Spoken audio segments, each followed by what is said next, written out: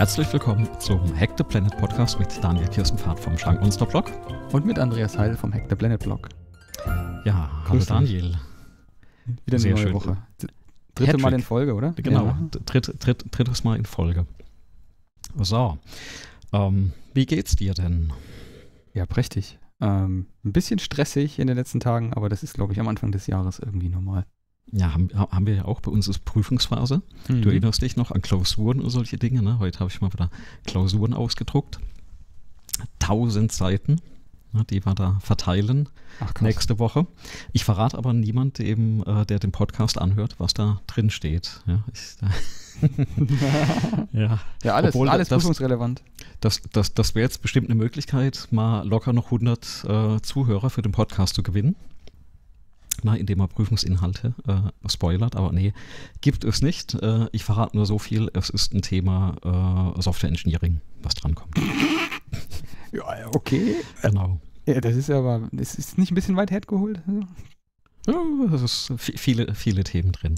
ähm, ja, und, und, und bringt mich eigentlich direkt zu dem Thema, was wir heute äh, schon ein bisschen angeteasert hatten oder das letzte Mal angeteasert hatten. Wir wollten ja ein bisschen über Informations- und Wissensmanagement sprechen. Mhm. Wir haben ja mit Obsidian gearbeitet. Das ist ja das Thema, was heute drankommen soll. Und natürlich, bevor wir da loslegen, ein bisschen tiefer einsteigen, ähm, haben wir viele, viele Neuigkeiten. Ne? Und ich hätte gesagt, ich fange mal an mit unserem Community-Feedback, weil ob, ob der langen Pause haben wir immer noch äh, Zuhörer, die im Discord verweilt sind und da wirklich die ganzen Wochen und Monate ausgeharrt haben. Und äh, dann, dann, wir hatten ja gesagt, wir nehmen die, das Feedback ernst und die Kritik ne, an dem äh, Mhm. Podcast. Natürlich.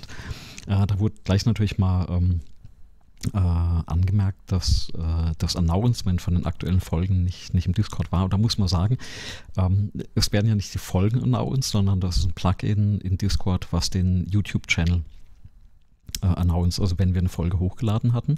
Und da war eben die 25 und dann die aktuelle 26 nicht hochgeladen. Ich habe das jetzt alles letzte Woche nachgeholt.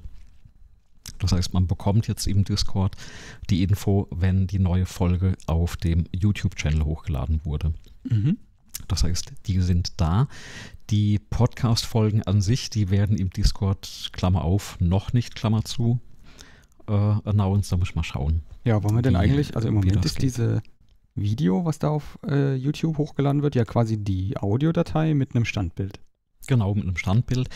Ähm, wir hatten ja mal angefangen, Videos aufzunehmen. Vielleicht machen wir das wieder in Zukunft. Wir haben jetzt, können wir gerade mal erzählen, ne? wir haben jetzt gerade das allererste Mal wieder Videos am, am Laufen. Also ich sehe dich, du siehst mich.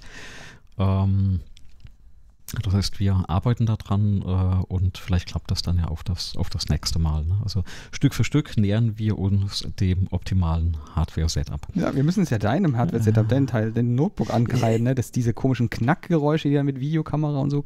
Hatte, ja, ja, und jetzt habe ich jeden neuen Rechner. Wir haben eine Kamera bekommen, also ich habe eine Kamera im Büro. Da hat jetzt, man man glaubt es kaum, ne, hat eine USB, ein USB-Kabel gefehlt. Das hat mir gestern jemand besorgt. Und Daran äh, scheitert es dann. Ja. Daran scheitert es genau. An, an dem einen USB-Standard mit den vielen Steckern. Man hat ein Mhm. ganz besonderes wieder gebraucht, also ein Mikro in dem Fall. Haben wir aber hinbekommen an der Stelle. Aber es ist eine schöne Kamera Und, hast du. äh, Das Bild, was da rauskommt, ist, ist äh, schön. Ich weiß nicht, wie die Kamera aussieht, aber das Bild ist gut. Mhm. Ist die, ist die EOS M200. Ist das Die eine Spiegelreflex noch oder ist das eine. Ähm, das ist quasi eine Spiegelreflex, aber ohne Spiegel. Ne? Also mirrorless im Endeffekt, ne? aber ähm, es ist so ein richtiger Body drauf, aber ist kein Spiegel mehr drin. Deswegen eignet, sie, dich- äh, eignet die sich auch tatsächlich zum Streamen. Ähm, allerdings hält der Akku da nicht lange. Ne? Das heißt, ich habe da so einen Dummy-Akku drin. In den Dummy-Akku wird im Prinzip dann ein Netzteil reingesteckt und der Strom wird direkt äh, durchgeschleust. Oh, cool. Ist das Standard? Ja. Gibt es das da dabei oder ist das Nee, nee, extra? das äh, nee, nee, ist extra und äh, gibt es auch nicht von Canon, sondern ein chinesischer Dritt, Dritthersteller. okay. Ähm, genau, aber das funktioniert recht gut. Das läuft ja bei mir daheim auch und da ähm, haben wir ein gutes Angebot. Ist ja immer so, wenn man so Geräteten anschafft im öffentlichen Bereich. Also das sind Projektmittel, die wir dafür hatten Mhm. ähm, für die Kamera. Und da musst du das Angebot reinholen und die kostet so, weiß nicht, zwischen 300 und 500 Euro, je, nach, je, je nachdem. Ne? Und äh, wir haben die tatsächlich bei eben bekommen für 300, 300 irgendwas Euro. War da der, der günstigste. Das war wohl ein Ausstellungsstück und das wurde dann quasi beschafft. Ähm, also ganz toll, ne? ähm, dass wir die dann auch EOS bekommen haben. 20, M, M200. M200. M200, genau. EOS M2, ich pack's mal in die, in die Shownotes, dann Mhm. kann man das Genau. nachlesen. Genau, also wer da ähm, auf der Suche ist, eine tolle Kamera. Und wir müssen sagen, das Bild, was du gerade siehst, ist noch nicht ordentlich eingestellt. Das ist jetzt Fabrik-Settings. Ähm, ich habe eigentlich für die Kamera, für das Streaming noch ein, noch ein optimales Setup, was dann auch auf die Frameraten und Autofokus etc. und Helligkeit ähm, optimiert ist. Mhm. Habe ich an der Stelle noch, nicht eingestellt. Aber das ist so erstmal so zum, zum Hardware-Setup hier, hier vor Ort. Ähm, Ja, das aber Bild, was du siehst von Stück mir, das Stück ist, hin. ja, das ist ja Kartoffelkamera direkt in einem iMac eingebaut. In einem iMac, genau. Was ist das eigentlich äh, nicht 4K-Kamera? Äh, was kann die Kamera? Ich kann gar nichts. 10, 1080p oder sie- 720? Nein, was Apple macht hat noch weniger? Apple baut doch, Was also haben denn die drin? Ja. die einzigen Full-HD-Kameras, die Apple aktuell verbaut, sind doch in den iPads drin. ja. Und da habe ich, da habe ich in dem iPad habe ich so einen, das habe ich noch gar nicht erzählt, ich habe ja so einen iPad Pro mir geholt statt einem Notebook. Mhm.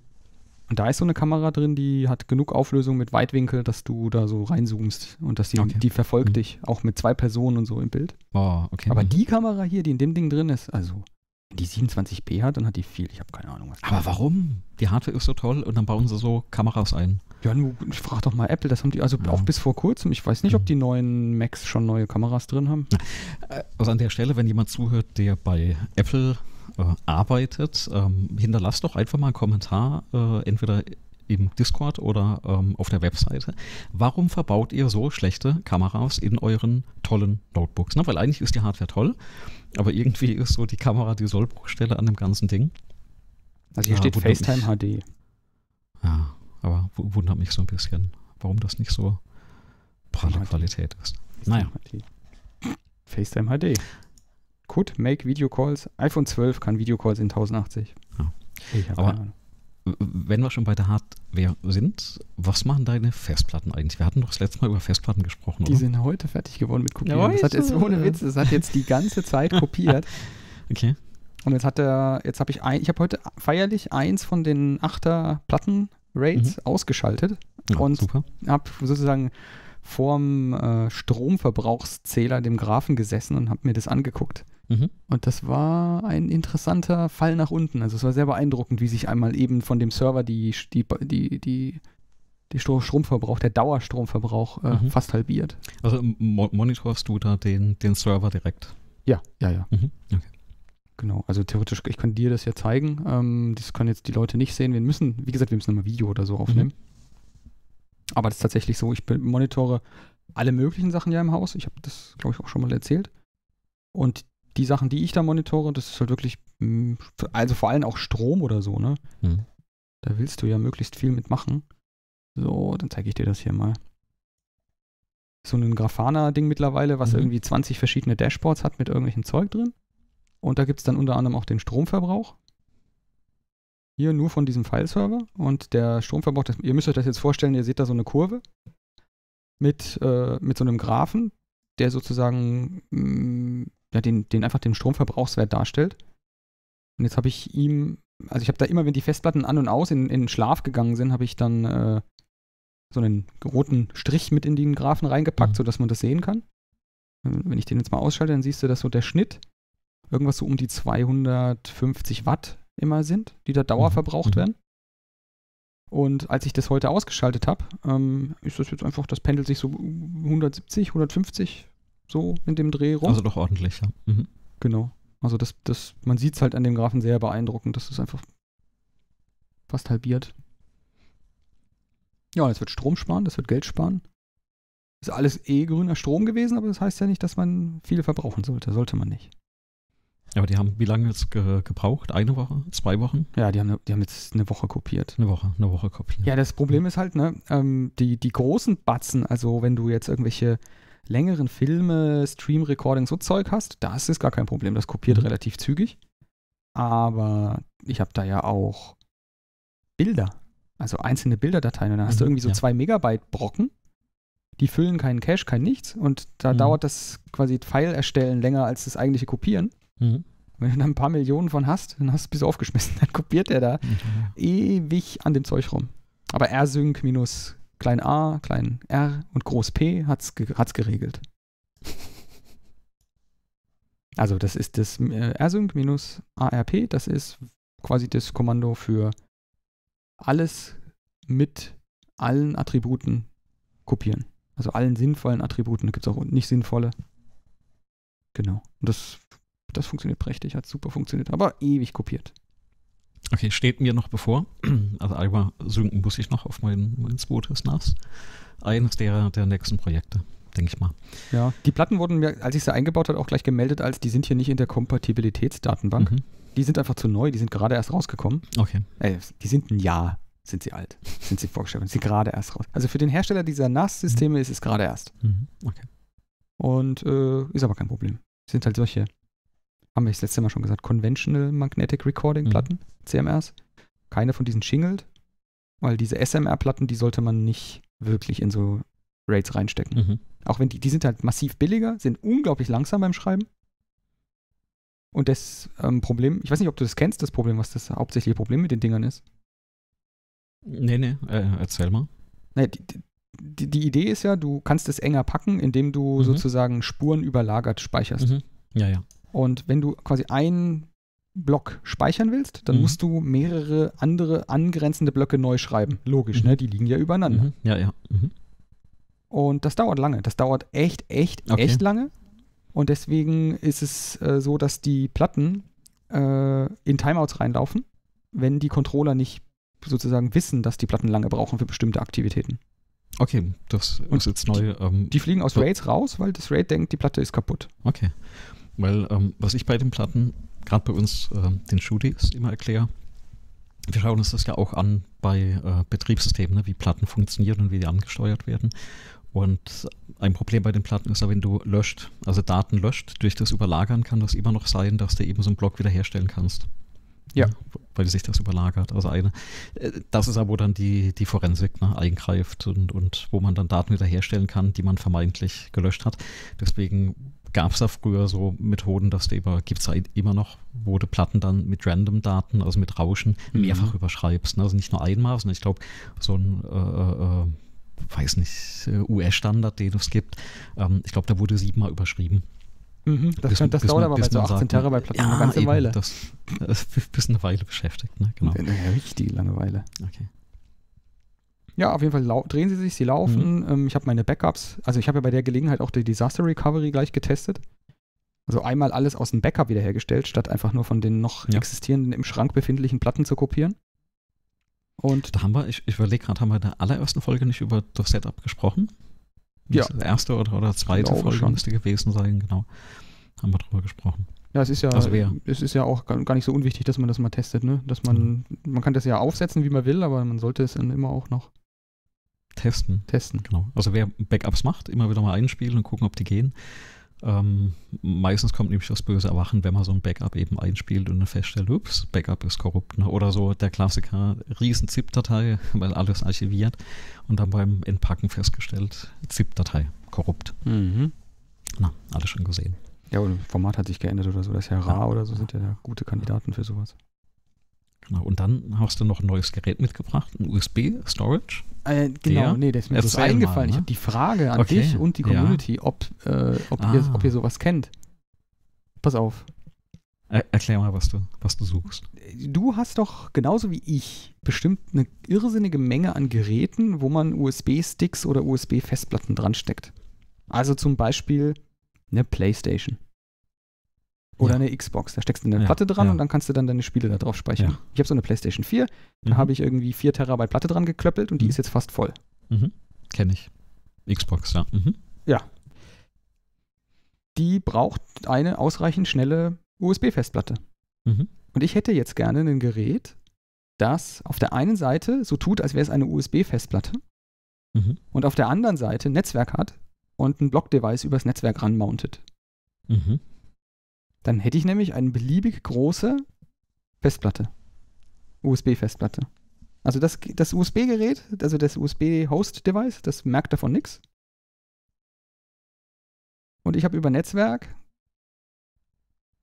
äh, Daten rangeholt. Erstelle mir einfach irgendwo ein Image von dem Ding und dann habe ich die Festplatten quasi im Netz. Warum gibt es dieses, so ein Gerät nicht? Oder gibt es vielleicht? Ich weiß es nicht. Ich hätte sowas gern. Ich kenne das nicht. Die Idee ist aber super.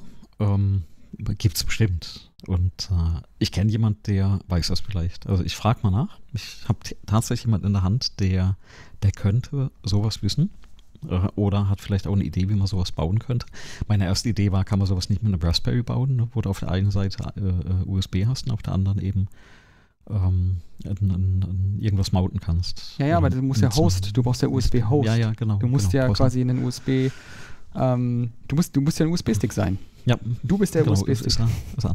Aber wenn, wenn du diesen USB-Stick anguckst, die Chips da drauf sind jetzt ja nicht so groß, ne? kom kompliziert. Ja, ja, eben. Die sind Kann- eigentlich kann nicht so wirklich kompliziert und ich würde, würde jetzt denken, ich meine, da ist dann hinten ein Flash-Chip drauf, ne? der hat dann Ja, auch ein ja, ja. bestimmtes Format. Also ich würde jetzt so rangehen, ne? wenn ich das selber bauen wollen würde, würde ich mir einen USB-Controller besorgen Ja, von so einem genau. USB-Stick und der spricht ja über ein ziemlich standardisiertes Protokoll mit einem Flash-Speicher. Eben, ja. Ja, und dann würde ich halt einen Chip, äh, eine Schaltung bauen, die mir den Flash-Speicher simuliert und den aber aus dem Netz holt.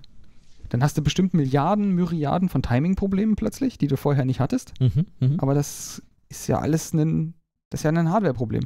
Also für mich als Softwareentwickler äh, klingt das so, als wäre das machbar.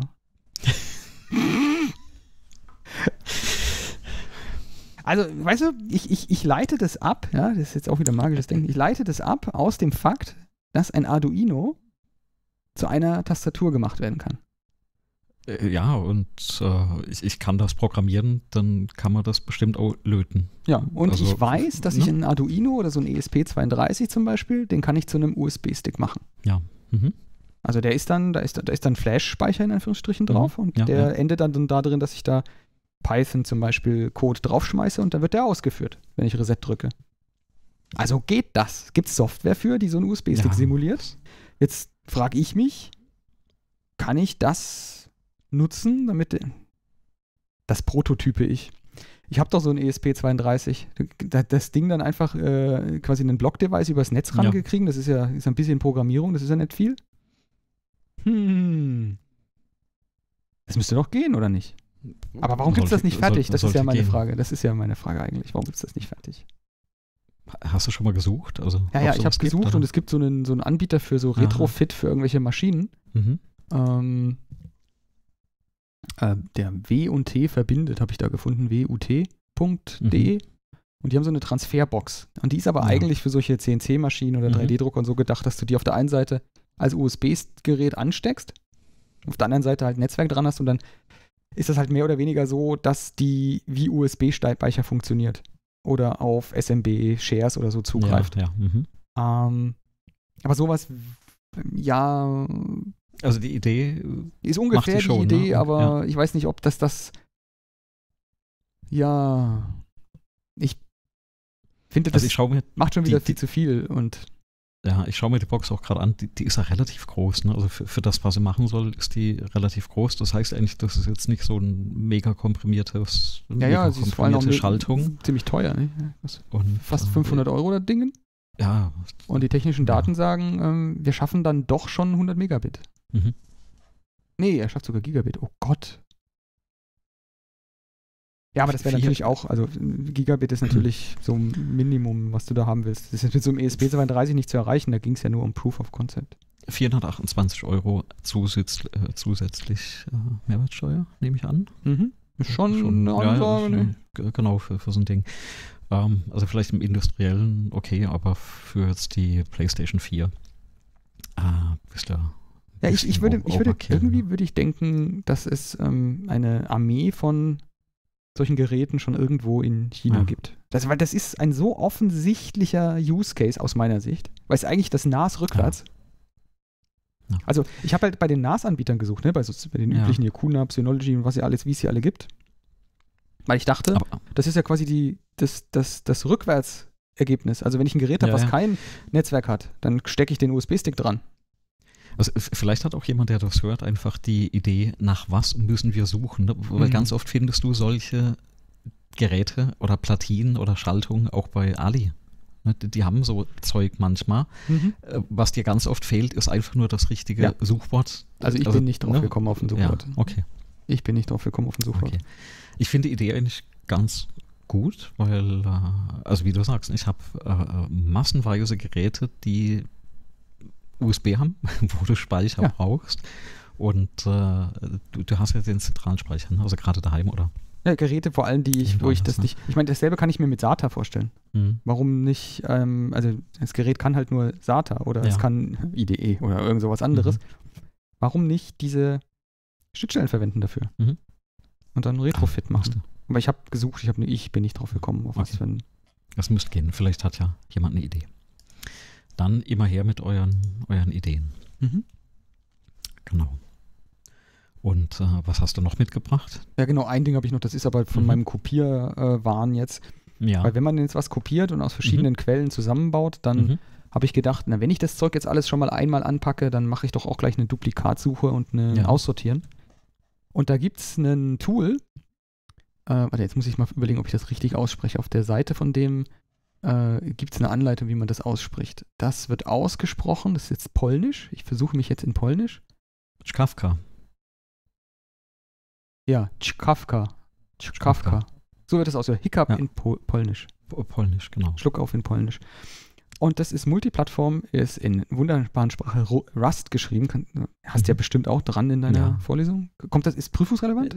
Nee, nee, haben, haben, haben wir noch nicht drin. Wir machen, wir machen C. Ganz, ganz klassisch. C. Ah, alles klar, mit allen Gefahren. Ja, okay. Na, genau. Mit Pointern und äh, hast du nicht gesehen, ja. Mhm. Und das ist, ähm, es gibt ja diverse Tools, um Duplikate von Dateien Mhm. zu finden, nach Ja. Inhalt, nach Prüfsummen, nach Mhm. weiß der Geier was für Strategien. Das Teil ist so das Schweizer Taschenmesser. Das kann einfach, also ich habe wirklich alles da drin gefunden, was ich Wow, okay. gebraucht Also Mhm. hyper kluge Strategien und es ist Mhm. extrem schnell. Also das Okay. hat wirklich Terabytes mit Millionen von Dateien in fünf Minuten durchgeackert.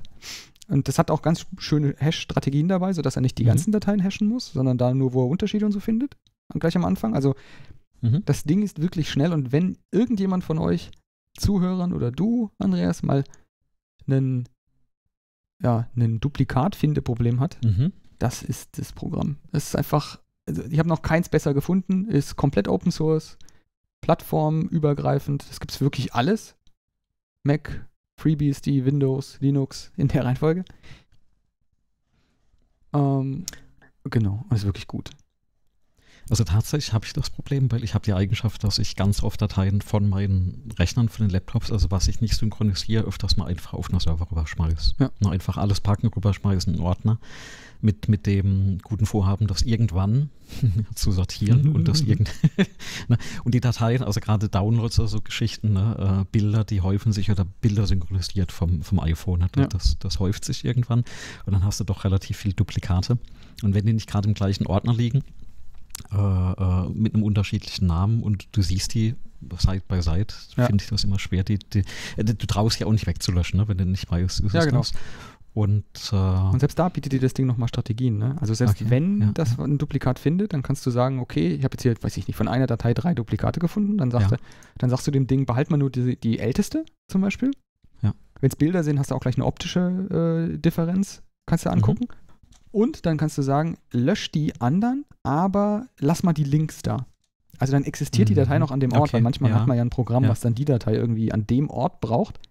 Aber der löscht dir die Daten, die doppelten, aber äh, lässt die Links da, wenn du die, wenn du das erstellen lässt. Das funktioniert wirklich, Okay. wirklich super gut. Also, äh, genau, das Ding unterstützt, glaube ich, explizit Bilder, ähnliche Bilder, ähnliche Videos. Also der guckt tatsächlich in Videos rein und guckt, ob sie unterschiedlich sind und wie viel und so. Musik. Ähm, ja, und dann halt alles, was du so an Binärzeug hast. Textdateien oder so. Genau. Ist also einfach auf mal auf so ein großes Storage loslassen, Knopf drücken und gucken, was passiert. mhm. Weil du das gerade erzählt hast, wie der funktioniert, äh, sagt dir die MIME Sniffing Attack was?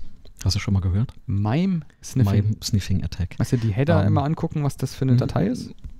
Nicht die Header, nicht, nicht die Header, aber die, die Idee ist im Prinzip genau das. Also es haben alte Browser gemacht, vor allem Mhm. der Internet Explorer. Ähm, ich, al- alte Machen auch, Versionen, also äh, die- auch, auch, auch Webserver haben das gemacht, um zu gucken, was sie da jetzt eigentlich liefern. Genau, und die, die, die haben was gemacht. Und zwar hat der, äh, zum Beispiel der AI, aber andere auch, eine Datei, also statischen Content genommen und die ersten 256 Byte angeschaut. Mhm.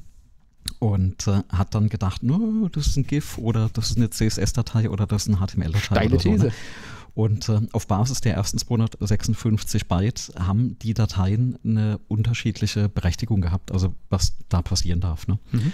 Und dann guckt so ein Ding, das, oh, das ist ein Bild und das Bild kann ja eh nichts, also muss ich mir da keine Sorgen machen. Ne? Und das Problem ist, dann wurde das Bild im HTML gerendert.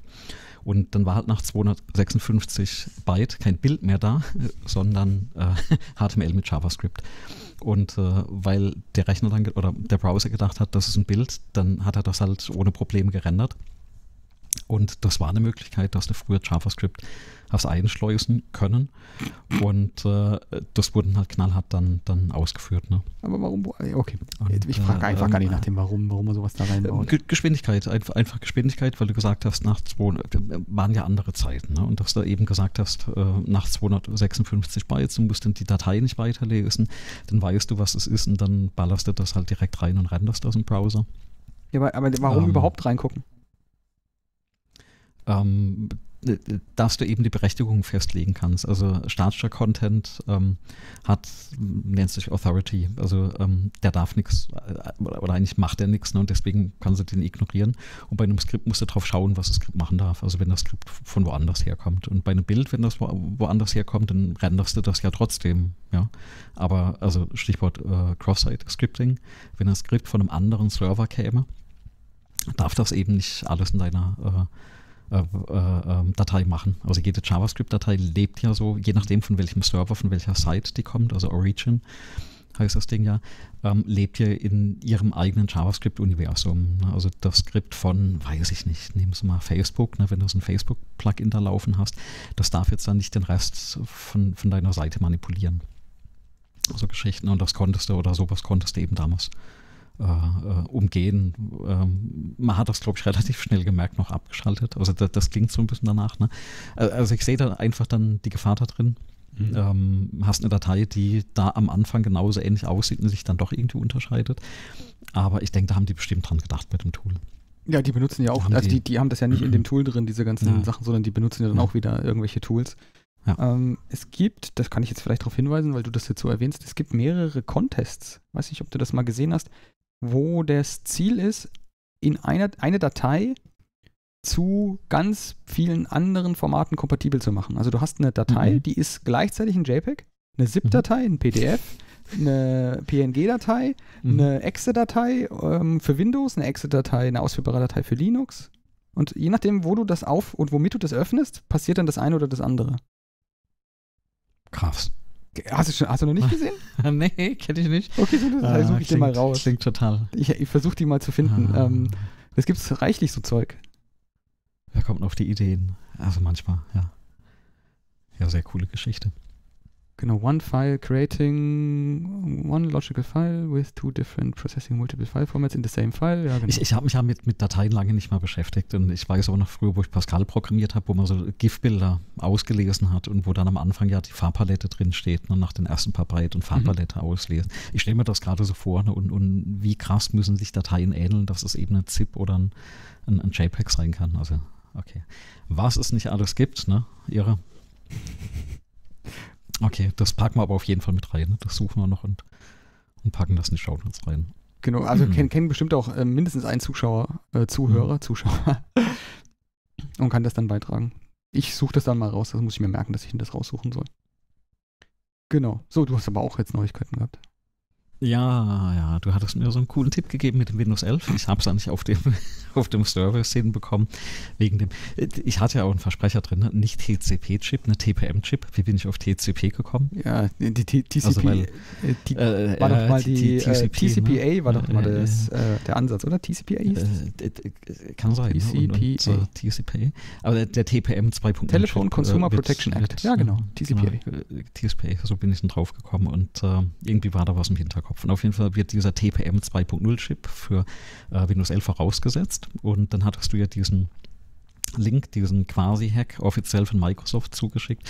Also es ist tatsächlich ein, ein, ein D-Wort äh, in der Registry erzeugen, ähm, den Rechner, glaube ich, einmal neu booten dann Installationsmedium auf USB runterladen. Ähm, ganz wichtig, du kannst, wenn du ein Windows 10 schon am Laufen hast, nicht vom USB-Stick dann booten, sondern du bootest ganz normal, gehst auf den USB-Stick, startest Setup und der prügelt das dann drauf. Mhm. Das lief jetzt bei mir auf dem Surface. Es hat recht lange gedauert im Vergleich zum anderen Notebook. Also der lief wirklich so vier Stunden, drei, vier Stunden für das Update, was auch immer der gemacht hat. Ich glaube, der hat noch das ganze Zeug runtergeladen. Also es reicht ein 4 Gig äh, USB-Stick zum Mhm. Starten von der Installation. Spannend ist aber auch wieder, du kannst das Ding nicht runterladen. Ne? Also du musst wirklich diesen USB-Stick vorher erzeugen. Aber auch da gibt es inzwischen von Microsoft ein Tool. Also das ging dann relativ schnell. Ne? Kannst du dir erklären, Und- wieso Microsoft das nicht anbietet, was Apple zum Beispiel anbietet, dass ich dann sozusagen im, ähm, im, im BIOS, heißt ja nicht mehr BIOS, in dieser Open Firmware, äh, UEFI. reinboote Ja. und dann einfach das Betriebssystem von dort gezogen wird? Ich meine, wie viel Gigabyte kann das sein, dieser Loader, der das Zeug dann einfach von einem Server zieht? Ähm, weiß ich nicht, ob die, die Standards das beschäftigen. Ich habe ja, als ich damals mein, was heißt damals, letztes Jahr mein BIOS brick, da müssen wir mal noch drüber, oder mein, mein BIOS gebrickt habe und auch den, den Chip gesprengt habe, ähm, müssen wir drüber sprechen. Ähm, hatte ich mich ein bisschen damit beschäftigt. Ähm, du hast ja einmal das, also das alte BIOS quasi, was ja nur zum Laden dann von, von der Firmware benötigt wird und äh, dann gibt es noch diesen UEFI-Standard, spricht man das überhaupt so aus inzwischen, ne? Ähm, den man dann explizit einstellen kann. Der läuft auf diesem Surface. und Ich, ich weiß nicht, ob der das überhaupt kann oder ob das, ob das in dem Standard vorgesehen ist. dass Also vorgesehen ist, dass du eigene Applikationen in den UEFI reinpackst. Okay. Also du könntest theoretisch, also ich sehe keinen Grund, warum man dann nicht das erweitert, um dann so einen Loader Und dass du darüber genau einen Loader dann bräuchte es halt wieder Netzwerk. Ähm, vielleicht ist es tatsächlich einfach, wenn das Ding auf dem USB-Stick ist und du davon bootest oder du das davon startest, dann ist es relativ safe. Das ist auf jeden Fall Ja, läuft. also so könnte ich mir. Das mit dem Netzwerk, das kann ich mir schon gut vorstellen. Schau dir mal an, ich meine, BIOS-Update bei dem Notebook, was ich da habe hier, so ein HP-Notebook. Das macht das Netzwerk dran, dann sagt das so, ja, ja, ich mache jetzt hier mal BIOS-Update. Okay. Im BIOS. Also da ist noch kein Betriebssystem gebootet, nichts. Okay. Also das, Ja, also- offensichtlich ist das äh, Stand der Technik. Aber ich, ich hätte halt alle erwartet, dass ich meinen Rechner kalt starte. Ich meine, sogar die, Windows-Lizenz selber ist das, ja, ja. im BIOS hinterlegt. Ja. Also die ist ja auf dem Gerät im Mhm. BIOS in einem, äh, das Zertifikat von meiner Mhm. Lizenz hinterlegt. Und ähm, in einem von meinen Rechnern habe ich sie kaputt gemacht. Weil ich das BIOS mit einer Alternativversion geupdatet habe. Mhm. Aber das brauchte ich halt. Deswegen habe ich das geupdatet. Ja, hast Windows weg. Ähm, also weiß ich nicht, aber ähm, hat funktioniert das Ganze, ne? Also mit dem Mhm. USB-Stick. Und, und also ich meine, du kennst auch, wie es früher war, ne? Also begeistert, dass sowas geht, kannst du es installieren, upgraden. Ähm, in dem Surface ist so ein, glaube ich, 1.2 TPM-Chip drin Mhm. Und läuft und läuft auch relativ, also trotz aller Unkenrufe, was du auch manchmal liest in der Presse oder Medien, ähm, das läuft stabil, läuft schnell. Ähm, ich habe mit den Treibern jetzt kein, kein Problem. Ähm, klappt, ne? Fun funktioniert und, und da frage ich mich aber, warum wird das jetzt standardmäßig nicht angeboten, dass du einfach sagen kannst, jo, ne, trotz aller Aber ich kann mir schon äh, vorstellen, warum. Risiken etc. Ich kann mir schon echt vorstellen, warum. Also weil die, die, die, die Zöpfe haben sie ja abgeschnitten an Stellen, wo, also die supportete Hardware, an Stellen, wo sozusagen Befehlssätze in den CPUs drin sind, auf denen sie dann aufbauen wollen im nächsten Mhm. Schritt. Also ich würde jetzt sagen, das wird der Zeitpunkt kommen, wenn das Sicherheitsmechanismen eingebaut werden, die dich vor irgendwelcher schädlichen Software schützen, die diese Befehlssätze oder bestimmte Funktionen benötigen in den CPUs und die Ja. hat deine CPU und dein TPM halt nicht. Ja. Und das wird dann dazu führen, dass diese Patche, diese, diese Updates dann nicht mehr verfügbar sein werden. Die Frage ist halt, ähm, wird es diese Funktionen geben? Sind die dann überhaupt wirksam? Also will man die haben? O oder nicht? Oder, oder was wird das dann? Ich finde die Entscheidung auch nicht gut, dass man Rechner, die, äh, weiß ich nicht, zwei Jahre alt sind, dann schon da abgeschnitten hat. Die dann noch, oder drei Jahre ist das Surface alt, ne? Drei, drei, genau, also drei Jahre und das ist eigentlich für Hardware. Ähm, Das also ja, nix. es kommt eben ne, schneller, schnellere Hardware etc., aber ganz ehrlich, also bei mir läuft auch noch an einer Stelle ein Raspberry 1, ne, ohne Probleme. Der, der läuft seit Ja. Ewigkeiten, ne, das Ding geht nicht kaputt. Ähm, ich habe ein, was ist denn das inzwischen, ein 2016er, 15er äh, MacBook, so ein kleines, das ne, Ja, haben wir klar. einmal äh, äh, was reparieren müssen, aber das Ding läuft immer noch. Gibt halt keine neue Ähm, Updates mehr. Für die, für die ganz alten Ja, Geräte gibt es keine aber Updates die, die Hardware läuft und selbst mein, mein iPad 1 ähm, kannst du mir viel mitmachen, aber läuft immer noch die Hardware. Das stimmt, da Ja, kannst also- du gar nichts mehr mitmachen. Da gehen ja nicht mal Webseiten mehr auf. Der Browser ist derartig nee, alt. Nee, nee, genau, der, der der Browser geht gar nicht mehr. Ne? Das ist Katastrophe. Aber also von der Hardware her ist eigentlich schade, dass wir, dass wir uns da nicht ja, dass man da nicht ein bisschen besser ist. Ne? Da fällt mir immer wieder von dem, was war das, der C36, war das 35 oder 36, C3, ähm, da gab es einen Vortrag über diesen blauen Engel für, für Software, mhm. wo eben sichergestellt werden soll, dass ähm, die Software, also A, mit jedem Update nicht dicker, sondern schlanker wird, ja, äh, nicht umfangreicher, sondern schlanker wird. Ähm, und dass du diesen Stempel bekommst, äh, muss die Hardware immer auf fünf Jahre alter Hardware laufen. Finde ich also von der Nachhaltigkeit her eigentlich eine coole Geschichte. Ähm, ja, das sollte ja eigentlich auch nicht so groß, also es ist ja eigentlich kein so riesiges Problem. Nee. Ähm, ich hätte jetzt auch direkt ein, paar, ein Beispiel parat, was mir gestern aufgefallen ist. Hast, du hast eine Apple Watch, hast du eine? Ich habe eine, ja, ja. Ich, ich habe die, hab die Apple Watch ja. Serie 0 noch. Mhm. Und die benutze ich noch. Ich habe jetzt bei allen beiden Serie 0 Geräten, die ich habe, habe ich schon die Batterie getauscht. Also das Ding aufgeknackt und mhm, mhm. Batterie getauscht, wieder zugeklebt. Die laufen, die werden für ja. Schlaftracking verwendet und die sind sieben mhm. Jahre alt. Mhm. Sieben. Ich habe, äh, was noch, ist das so eine, eine SE? Ich muss mal nachgucken, was ist. Ich habe mir aus Verzweiflung letztes Jahr eine neue holen müssen. Ich erzähle dir mal, was ich hatte. Äh, meine alte, was eine Vierer war das. Habe ich an, haben mit dem Presslufthammer gearbeitet. Presslufthammer? ja, ja, wir haben, wir haben eine Wand abgerissen mit einem richtig ja, großen, schweren Presslufthammer. Und äh, da hatte ich mich auch irgendwo mal ran, rangelehnt und hat irgendwie verpasst geplant, dass ich die Uhr noch anhatte. Ne? Also normalerweise ziehe ich das Ding aus bei oh. schwerer Arbeit und ähm, gucke irgendwann auf die Uhr und denke so, boah, ist da Staub auf dem Display? Und nee, das ganze Display zerbrochen ne? und, und alles kaputt. Die, die liegt und muss ich aber auch sagen, die, ich habe schnell eine gebraucht und dann gab es halt ein Angebot und äh, oder auf Raten und dachte ich, ja komm, ähm, aber ich schmeiße die auch nicht weg, die liegt echt noch in der Schublade und eines meiner Projekte ist, ich will das Display tauschen. Also ich habe gesehen, es gibt Sets, die sind relativ günstig und du kannst das komplette äh, Oberteil ne, von der Uhr im Prinzip tauschen. Und das wollte ich mal noch machen, weil der Rest geht ja noch, ne? Also die, die Uhr an sich ging noch, aber es war nur das komplette Display mit allem drum und dran halt ein bisschen kaputt. Wasserdicht wird die nicht mehr sein. Ja, das ist ja ist auch bei meinen nicht mehr, wenn ich das und, tausche. Und ist das, das ist der Punkt. Ne? Also die, die muss halt tatsächlich bei mir, mir wasserdicht äh, sein und ja, aber ähm, ja, habe ich halt einmal geschrottet und aber die, die läuft auch noch, ne? Also trotz kaputtem Display. Mhm. Genau. Ja, die Hardware ist äh, recht haltbar. Ja. Das ist tatsächlich vom Umweltbundesamt gewesen, ne? Der Vortrag. Äh, genau, da, da waren äh, 36C3, wie klimafreundlich ist Software? Ja, genau. Und äh, da war dann, glaube ich, von der FH in, jetzt will ich nichts Falsches sagen, Trier, war das Trier, die Forscherin da mit der Ministerin vom Bundesamt. Äh, Birkenfeld, also Umweltcampus Birkenfeld. Birkenfeld. Okay, sorry. Umweltcampus Birkenfeld und das Umweltbundesamt. Die haben verkündigt, ja. dass das dieses letztes Jahr kommen sollte. Äh, irgendwie so. Ja, wie cool meine, hängt von den Herstellern ab, ob die sich da zertifizieren lassen. Aber ich finde im Prinzip diesen Ansatz gut, dass du eben sagst, guck mal, wenn du Hardware hast oder Software hast mit dem, mit dem Stempel drauf, dann läuft das eben auf alter oder auf älterer Hardware. Weil es gibt ja, also gerade bei, bei der Hardware, die du heute hast, es gibt ja keinen Grund, dass du so ein vier, fünf Jahre altes Laptop wegwirfst. Also das, nee, das Zeug ist ja. Die gibt es wirklich nicht. Also, also gut, es gibt schon sehr komische Kisten, die so alt sind, aber ich glaube, wenn man vor vier, fünf Jahren was gekauft hat, was wirklich benutzbar war, dann hat man keinen Grund, das heute eigentlich wegzuwerfen. Ja. Aber ich habe selber auch ein paar Geräte, die sagen, die sind nicht updatefähig insofern. Hm. Ich habe es auch, auch auf einem gemacht. Da ist so eine kleine hm. äh, Nook-Box, äh, habe ich mir mhm. irgendwann mal, habe ich erzählt, und da habe ich das auch gestartet, das Update. Mhm. Ich empfinde das jetzt nicht als großen Fortschritt. Also ich habe das sieht es, alles anders aus und es, ich kann immer noch Fenster beim Rendern zugucken. Das ist unerträglich bei Windows. Es, es ist kein Quantensprung. Ne? Du, du, hast ein bisschen Änderungen in der UI. Problem aus meiner Sicht ist tatsächlich, wenn du auf mehreren Rechnern Windows laufen hast und jetzt eben diese krass unterschiedliche UI hast. Hm. Ist halt, ist halt mehr. Ne?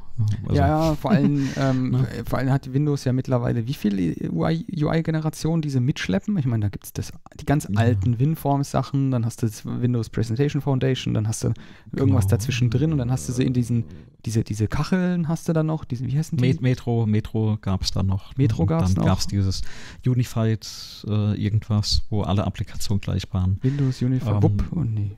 Ist das so? Nee. Also, äh, doch, irgendwas mit, mit WUP oder so. Oh Gott. Ähm, ich habe auch einen Überblick verloren an der Stelle. Ne? Ja, ich, ich Äh, programmiere im Moment wieder Winforms-Applikationen Mhm. und es ist ein grausames Spiel. Es ist wirklich furchtbar, es ist wirklich grauslich. Ich, ich weiß noch, wie das geht. Ja, ich weiß auch noch, wie das Cheat. geht, aber das ist trotzdem schrecklich. Und äh, GDI-Rendern in, äh, in WinForms. Aber äh, geht ja alles noch. Ne? Also da ist ja interessanterweise die Abwärtskompatibilität gegeben. Also das Mhm. läuft ja in dem, auf den, dem Betriebssystemen, aber wie gesagt, kriegst halt nicht auf der neuen Hardware. Ja gut, ich, bevor ich jetzt rante mit .NET Framework und .NET und wie Ja. die ganze Benamung alles funktioniert, das ist, das, bis ich das rausgefunden habe, um Gottes Willen. Also ähm, läuft, ne, läuft jetzt bei mir auf zwei von drei Rechnern, kann sie mitarbeiten, also von daher Hm. ist eigentlich ganz okay. Genau. Ähm, YouTube Subtitle automatisch Download. Was? Ja, genau. Also ähm, bei dem Beheben der Announcements von dem Podcast, dann ist mir, dachte ich mir, komm, äh, also wir arbeiten mit dem, mit dem Podlove Plugin für WordPress und äh, da kannst du auch Subtitles hochladen. Habe ich mal geschaut, ne, wie vollständig eigentlich hier unsere äh, Dateiressourcen sind, die wir da anbieten. Und da dachte ich, packst mal die, die Subtitles noch mit rein. Und früher gab es die, also früher, ne, vor zwei Jahren, hatten wir noch die Möglichkeit, nachdem du ein Video hochgeladen hattest, ähm, YouTube rendert äh, oder erzeugt automatisch Hm. KI-basiert die, die Untertitel, wenn du die Sprache ausgewählt hast und eben sagst beim Hochladen, dass die Sendung noch nie im US-amerikanischen Fernsehen ausgestrahlt wurde. Dann erzeugen die so einen Untertitel Oh, okay. und äh, so eine SRT-Datei. Und die konnte man runterladen. Das geht anscheinend nicht mehr. Ähm, also ich habe keine Möglichkeit gefunden, aber ich habe ein Tool gefunden. Da schmeißt du von einer x-beliebigen äh, äh, YouTube-Sendung, Folge, ne, was du auch immer hast, ähm, schmeißt du den die URL rein und das bietet dir dann eben an, die äh, Subtitle runterzuladen, entweder nur als Text oder auch mit äh, Marken. Also das klappt relativ gut. Die Texterkennung, wenn du mich fragst beim Podcast, ist so, äh, ist ein bisschen zwiegespalten, aber ich finde es ein cooles Tool, weil du kannst relativ schnell die ganzen Untertitel eben äh, runterladen und hast eben dieses SRT-Standardformat erstmal da. Ähm, ich habe mir überlegt, ich packe die ganzen SRT-Dateien mal in ein Repository in, äh, äh, in GitHub. Und wenn wir irgendjemand finden, dem langweilig ist, dann kann er gerne die Untertitel äh, verbessern, was da die KI verbrochen hat. Aber ich dachte einfach mal aus Spaß, wir packen die rein und vielleicht kann man über die Monate, Jahre, also über die Folge sehen, wie vielleicht die automatische Erkennung von YouTube immer, äh, immer, immer besser wird. Mhm. Genau. Und an, vielleicht da direkt noch mit, ne, ähm, es gab dann auch von diesem Plugin eine, eine Aktualisierung, weil wir haben ja immer noch das Problem bis mit den Show Notes, wir kopieren die ja in die äh, quasi in die Beschreibung rein und dann wird das dementsprechend in Feeds auch angezeigt. Auf der Webseite war das ein bisschen unhübsch und dieses Plugin bietet jetzt eben auch an, dass wir äh, ähm, die Show Notes als einzelne Links äh, reinpacken können. Das verwendet der Tim Prit- Pritlaff ja seit zwei Jahren bei sich auf seinen Seiten, aber das Ding gab es halt nie, also nur in der, in der Preview oder in der Beta äh, gab es dieses Plugin und das ist jetzt so. seit quasi mit, mit der Wiederaufnahme von unserem Podcast haben sie das extra anscheinend für uns raus, rausgebracht. Ja, ja, endlich Und, sind die wieder am äh, Arbeiten, dann müssen wir mal loslegen hier. Ja, genau, und äh, deswegen habe ich jetzt die letzten zwei, drei Folgen, also ich bin jetzt dabei, das so nach und nach alles nachzuarbeiten, ähm, packe ich das jetzt in die Shownotes rein. Wer bei uns auf der Webseite dann eine Folge rauspickt, ähm, also direkt auf die Episode geht, der bekommt dann auch da quasi die ganzen Links entsprechend aufgelistet. Also 27 und äh, 26, ich glaube auf 25 sollten schon, schon da sein. Also das, na, wir werden immer ein bisschen besser. Ne? So, also, jetzt habe ich gleich eine Frage noch wegen den Sub Ja, Subtitles. Ähm, hast du YouTube DL probiert? Äh, nicht für die Subtitles, kann der das auch? Ja. Und Also, du okay. benutzt bitte nicht youtubedl.org? Weil das ist Mhm. alt und funktioniert nicht richtig. Ja, Kann ich dir gleich hier mal jetzt Service machen. ja. Ähm, es gibt einen Fork davon, der heißt YouTube äh, YT-DLP. Den Mhm. gibt es auf GitHub und den benutze ich. Ist ein Okay, super. YouTube DL Fork mit zusätzlichen Features. Mhm. Der downloadet auch, der funktioniert bei YouTube. Okay.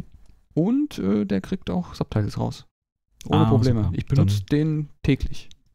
Das ist noch, noch besser, weil dann können wir das ganze Ding auch tatsächlich ein bisschen mit dem GitHub ähm, automatisieren. Ähm, das YouTube DL empfehle ich tatsächlich meinen Stud Studenten, Studentinnen. Ja. Warum? Weil die bei uns manchmal Videos erstellen oder Präsentationen, ne, gerade jetzt in dieser Pandemie-Geschichte, ähm, Präsenzpräsentation geht nicht, sage ich, macht Video als Gruppe, ladet das hoch.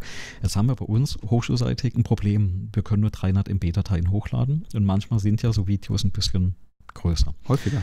Und ähm, ich, ich setze bei denen nicht voraus, dass die das Tooling so beherrschen, dass die sowas machen können wie, habe ich ja mal von der FEM gelernt, ne? ist deine Datei zu groß, render das Ding halt mal mit 24 oder 23 Frames pro Sekunde. Ja. Ähm, fällt keinem Menschen auf. Meistens nicht, ja. Ähm, bei Vorträgen aber, schon gar nicht. Aber du kriegst halt unheimlich viel Platz gespart. Und was die äh, was ich denen immer empfehle, ladet das Video ungelistet bei YouTube hoch, dass ihr das einmal da oben habt. Dann wartet halt die 10 Minuten, bis es gerendert ist und dann nehmt genau die URL von dem ungelisteten Video und ladet das wieder runter. Ähm, über YouTube DL äh, äh, oder eben ne, den Fork, den du jetzt da hast. Und dann schafft man da mal locker von einer 3, 4, 500 MB-Datei, rendert ähm, YouTube das auf 50 MB runter. Ne, ohne dass jetzt da merklich Qualitätsverluste äh, äh, siehst. Und ich habe mal nachgeschaut, äh, was die verwenden. Die basieren ja oder die basieren ja fast komplett auf FFmpeg, ne? Von, von den Rändern. Ja. Und, ähm, meinst du YouTube heißt, jetzt? YouTube, ja. Ah, das sieht nur so aus. Äh, okay, ich kann ja gleich mal erzählen, was die da so erzählt haben. Also die haben mittlerweile eigene Hardware dafür gebaut, um das Zeug umzutranskodieren. Um, um mhm. Die machen den meisten Teil von dem Zeug von ihrer Pipeline mittlerweile in Hardware. Oder das heißt mittlerweile okay. schon eine ganze ja, Weile lang. Ja. Weil das nicht anders sich rechnen lässt. Also wenn du mhm. das wirklich mit Software und mit Intel-CPUs oder Intel-kompatiblen CPUs ja. machen würdest, das würde sich nicht rechnen. Aber dann haben die das mal auf FFmpeg gerechnet. Also es kann sein, dass die FFmpeg dafür benutzen, um das, was dann da mhm. rausfällt aus der dedizierten Hardware an Frames, in irgendein Containerformat vor- mhm. und zurückwärts zu konvertieren. Das kann sein, dass dafür FFmpeg genutzt mhm. wird. Aber das eigentliche Encoden pa passiert wohl woanders, soweit okay. ich informiert bin. Mhm. Was interessant, ja, ich, 300 ich hab, Megabyte geht das ich, bei euch an der, an der Uni? Ja, das ist halt einfach ein Limit, das mal gesetzt wurde. Ja, jetzt, jetzt, muss, halt ich, jetzt muss ich braggen, ne? Es gibt, gibt, ja, gibt ja seit einem Monat, äh, also seit dem 31.12. gibt es den VentureTube bei uns auf Lucky, auf, dem, auf diesem mhm. GTA-RP-Server, mhm. Thema vom letzten Folge. Da kannst du deine eigenen Videos hochladen. Die dürfen 500 Megabyte sein pro Stück. Ah. Die Spieler dürfen 500 Megabyte hochladen. und das wird und, genutzt und, wie Wahnsinn. Ja, und, und schon sehe ich meine äh, äh, StudentInnen abwandern nach, nach Lucky Five, weil sie da mehr hochladen können. Ja, nee, es ist halt einfach, es wurde früher ja auch nicht so intensiv genutzt. Es war ja, wir hatten ja, ja auch am Anfang, du erinnerst dich am Anfang, wo ich auch bei der FEMA angefragt hatte, äh, wie, wie kriege ich eigentlich meine ganzen Daten da auf die Hochschule? Wir waren ja mal bei 50 MB oder so und dann wurde auf 300 gesetzt. Es ist halt, wenn, wenn du mehrere tausend Studierende hast, die da äh, Daten hochladen, Videos hochladen. Wir haben jetzt nicht so eine, eine Hardware wie Google da stehen. Ne? Wir haben so eine Handvoll Blades, das ist eine öffentliche Einrichtung. Du bist ja froh, wenn du ordentliche Hardware hast. Und äh, äh, jetzt kannst du die natürlich ja nicht alle drauf, drauf loslassen. Also du kannst jetzt nicht mit einer Firma hingehen und dann einfach, was weiß ich, ein Storage-System für eine sechsstellige Summe dahinstellen. Hm. Ähm, Bezahlst du eigentlich aber, für YouTube? Bitte? Bezahlst du für YouTube? Wo wir gerade bei Kosten äh, sind und nicht leisten und so. Du, du, du meinst diesen, das, das Monatsding da, wo ja, ich jeden. Monat, wo ich, wo ich permanent draufklicke, nein, möchte ich nicht, Echt? seit einem Jahr. Ja, ja, ich klicke da immer drauf, ganz, ganz. Ich, ich kaufe das, ich kaufe das, weil es ist eines ja. meiner, meiner Hauptmedienkonsum-Dinger, okay. ist YouTube und ja. du kriegst YouTube Music mit dazu, das hat bei mir Spotify direkt ersetzt. Okay. Und äh, das ist super. Das ist wirklich gut. Okay, nee, Keine Werbung, kon, nirgends. Kon, kon, also ich habe wirklich nirgendwo ja. Werbung. Okay. Und das ist alleine der Grund, warum ich das mhm. haben wollte. Ich ertrage uh, Werbung how, nicht. How much is the fish? 12 Euro, 19 Euro. Pro, okay. Hm, Weiß so. ich nicht, genau. Pro Monat. Glaube, pro Monat, ja, das ist gut. Ja, Wie gesagt, okay. das hat Spotify ersetzt. Ja. Und Netflix okay. habe ich auch nicht mehr. Alles okay. weg. Ah. Netflix haben wir so ein 17,99 Euro. Mit war natürlich genau mittendrin von okay. 19 und 12. 17,99 Euro und zwar ist das ein Family Membership, weil das ist nämlich auch ja. ziemlich praktisch. Meine Frau hat ja denselben mhm. Zugang. Also sie benutzt ihren eigenen Account und mhm. damit kann sie auch werbefrei gucken. Okay. Ah. Ah. Und auch YouTube Music benutzen, wo wirklich ja. die ganze Musik drauf ist. Das ist wirklich gut. Okay. Ich benutze nämlich YouTube, das, damit rechtfertige ich das, was ich als nächstes sagen werde, weil ich dafür bezahle. Ja. Ähm, Video umrechnen ist ja auch heute noch ein ziemlich auf, zeitaufwendiges Problem. Ne? Wenn du ein Mhm, Video mhm, einfach ja. von einem Format in ein anderes konvertieren möchtest und vielleicht auch die Qualität äh, ändern möchtest, die Bitraten ändern möchtest, so Späßchen, Grausam. Ich mache das auch für, meine, für manche Vorlesungsvideos. lad Äh, es auf boah. YouTube und such dir dann mit YouTube DL die richtige Version aus. Weil Okay, YouTube mhm. rechnet dir das in all diese Formate um Okay. und das geht wesentlich schneller als jeden Rechner, den du kaufen kannst. Ja, okay. Also ich habe das Zeug, ähm, also meine Streams zum Beispiel, wenn da habe ich teilweise Mhm. irgendwie fünf Stunden, acht Stunden Video. Mhm, mhm, YouTube, einfach bei Twitch, Rechtsklick, hochladen, fertig. mhm. Oder direkt bei YouTube hochladen, die Rohdateien. Und dann ziehst du dir dann die umgerechneten kleineren Dateien runter. Okay. Also natürlich Qualitätsverlust, aber Mhm. das hättest du ja eh, wenn du es umrechnen wolltest. Also im Prinzip genau das, was wir für die, für die Vorträge machen. Genau, geht halt wohl wirklich, wirklich viel schneller. Ja, klar. Klar, nee, ich, ich kenne das. Ich habe dann, wenn ich dann teilweise die Vorlesung oder eben Vorträge hatte, äh, ich habe ja inzwischen ga, ganze Batch-Dateien mit äh, ähm, Zeilen, also wirklich Zeile für Zeile, FFmpeg mit, mit also da Mhm. kannst du dich ja kaputt machen, was die Parameter angeht bei Das dem stimmt. Ding. Ne? Ich frage mich gerade, äh, ja. Ich frage mich gerade, ob die, ähm, ob das äh, effizienter ist, also rein ökologischer ist, wenn ich die Spezialhardware von YouTube beschäftige damit, das zu tun, was, wofür sie gebaut wurde, verglichen mit meiner General Purpose Hardware, die hier für zwei Stunden 300 Watt in die Luft pustet. So, so stromtechnisch ein wahrscheinlich äh, nicht geklärtes Mysterium. Naja, aber die werden ja nicht, die werden ja Ja. nicht auch, also die rechnen da dann irgendwie 10 Minuten dran und mein Rechner würde eine Stunde dran rechnen. So, so ungefähr ist das Verhältnis gewesen. Ist, ist die Frage, sitzt nur am Rechner? Also, also macht er nur das oder Ja, ja, der kann auch nur noch- also der-? Ich Ja, ja, rede schon okay. von Mhm. alle Kerne Vollgas. Das Ding lüftet wie der okay. Wahnsinn, hat dann seine 300 Watt Stromverbrauch mit allem. Dann dürfte wahrscheinlich eine optimierte Hardware da schon besser laufen. Ne? Würde ich auch denken, ne? Und dann mit dem gedacht, Hochladen, ja. dem Overhead hochladen, speichern und wieder runterladen. Wäre wär mal eine interessante äh, Theorie, ob das, ob das effizienter ist für die Hardware, die ich habe. Vielleicht hört hier jemand von Google zu. Kann er auch die Frage beantworten. Ne? Ja, führen die nicht solche Statistiken, wie viel so eine Suche, gab es doch immer mal, wie viel eine Suche an Strom braucht oder Doch, so? da, das, das, das, das gibt's. Ne? Wie, wie viel kostet so eine Suche? Das hatte ich noch im Kopf. Das, das gab es mal irgendwann. Da müssen wir mal schauen, ob, wir da was finden. Genau. Aber so viel zum, zum äh, Podcast. Ne? Und ähm, was gerade durch die Mails bei uns ging, ähm, wir haben, muss man mal, auch mal ein bisschen Werbung machen für die Hochschule. Ähm, wir haben so einen Kurs oder eine, eine Veranstaltung Embedded Systems und äh, kennst du dieses Projekt Blinkenlights? Da haben wir, glaube ich, Mhm. auch schon mal drüber gesprochen, ne? Und äh, war da nicht auch der Tim Prittlaff Ja, beteiligt? Ich Ja, würde ne? sogar sagen, äh, ich Oder- würde ihn oder sogar zum? Projektleiter machen an der Stelle. Ja, ne? Mhm. Und äh, die, haben, die haben bei uns an der Hochschule im Kurs was ähnliches gebaut. Die haben, wir haben ein relativ großes Gebäude, fünf Stockwerke hoch und dann viele, viele Zimmer breit. Und haben die, glaube ich, so ein Drittel Siehst du die oder Kamera die Hälfte vom, Ja, ne? vom Gebäude. Ähm, oh, da fliegt gerade eine Katze durchs Bild. ja ich, ich tue sie mal kurz runter, Ich- bevor der ich gleich der Podcast endet.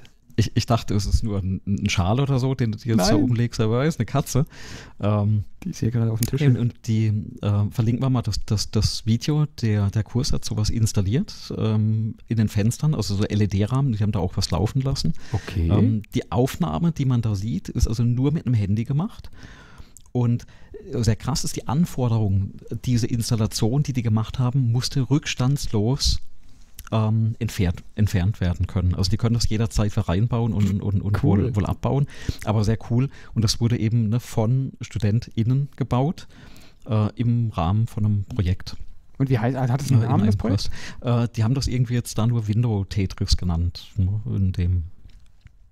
Aber findest du, wenn du da Window Tetris äh, Hochschule Heilbronn, glaube ich, suchst, Mhm. ähm, dann, dann findet man das. Aber wir packen mal den Link äh, in das Video auch rein. Also wirklich aktuell kam, da ist das gerade durchgeflogen bei den Mails.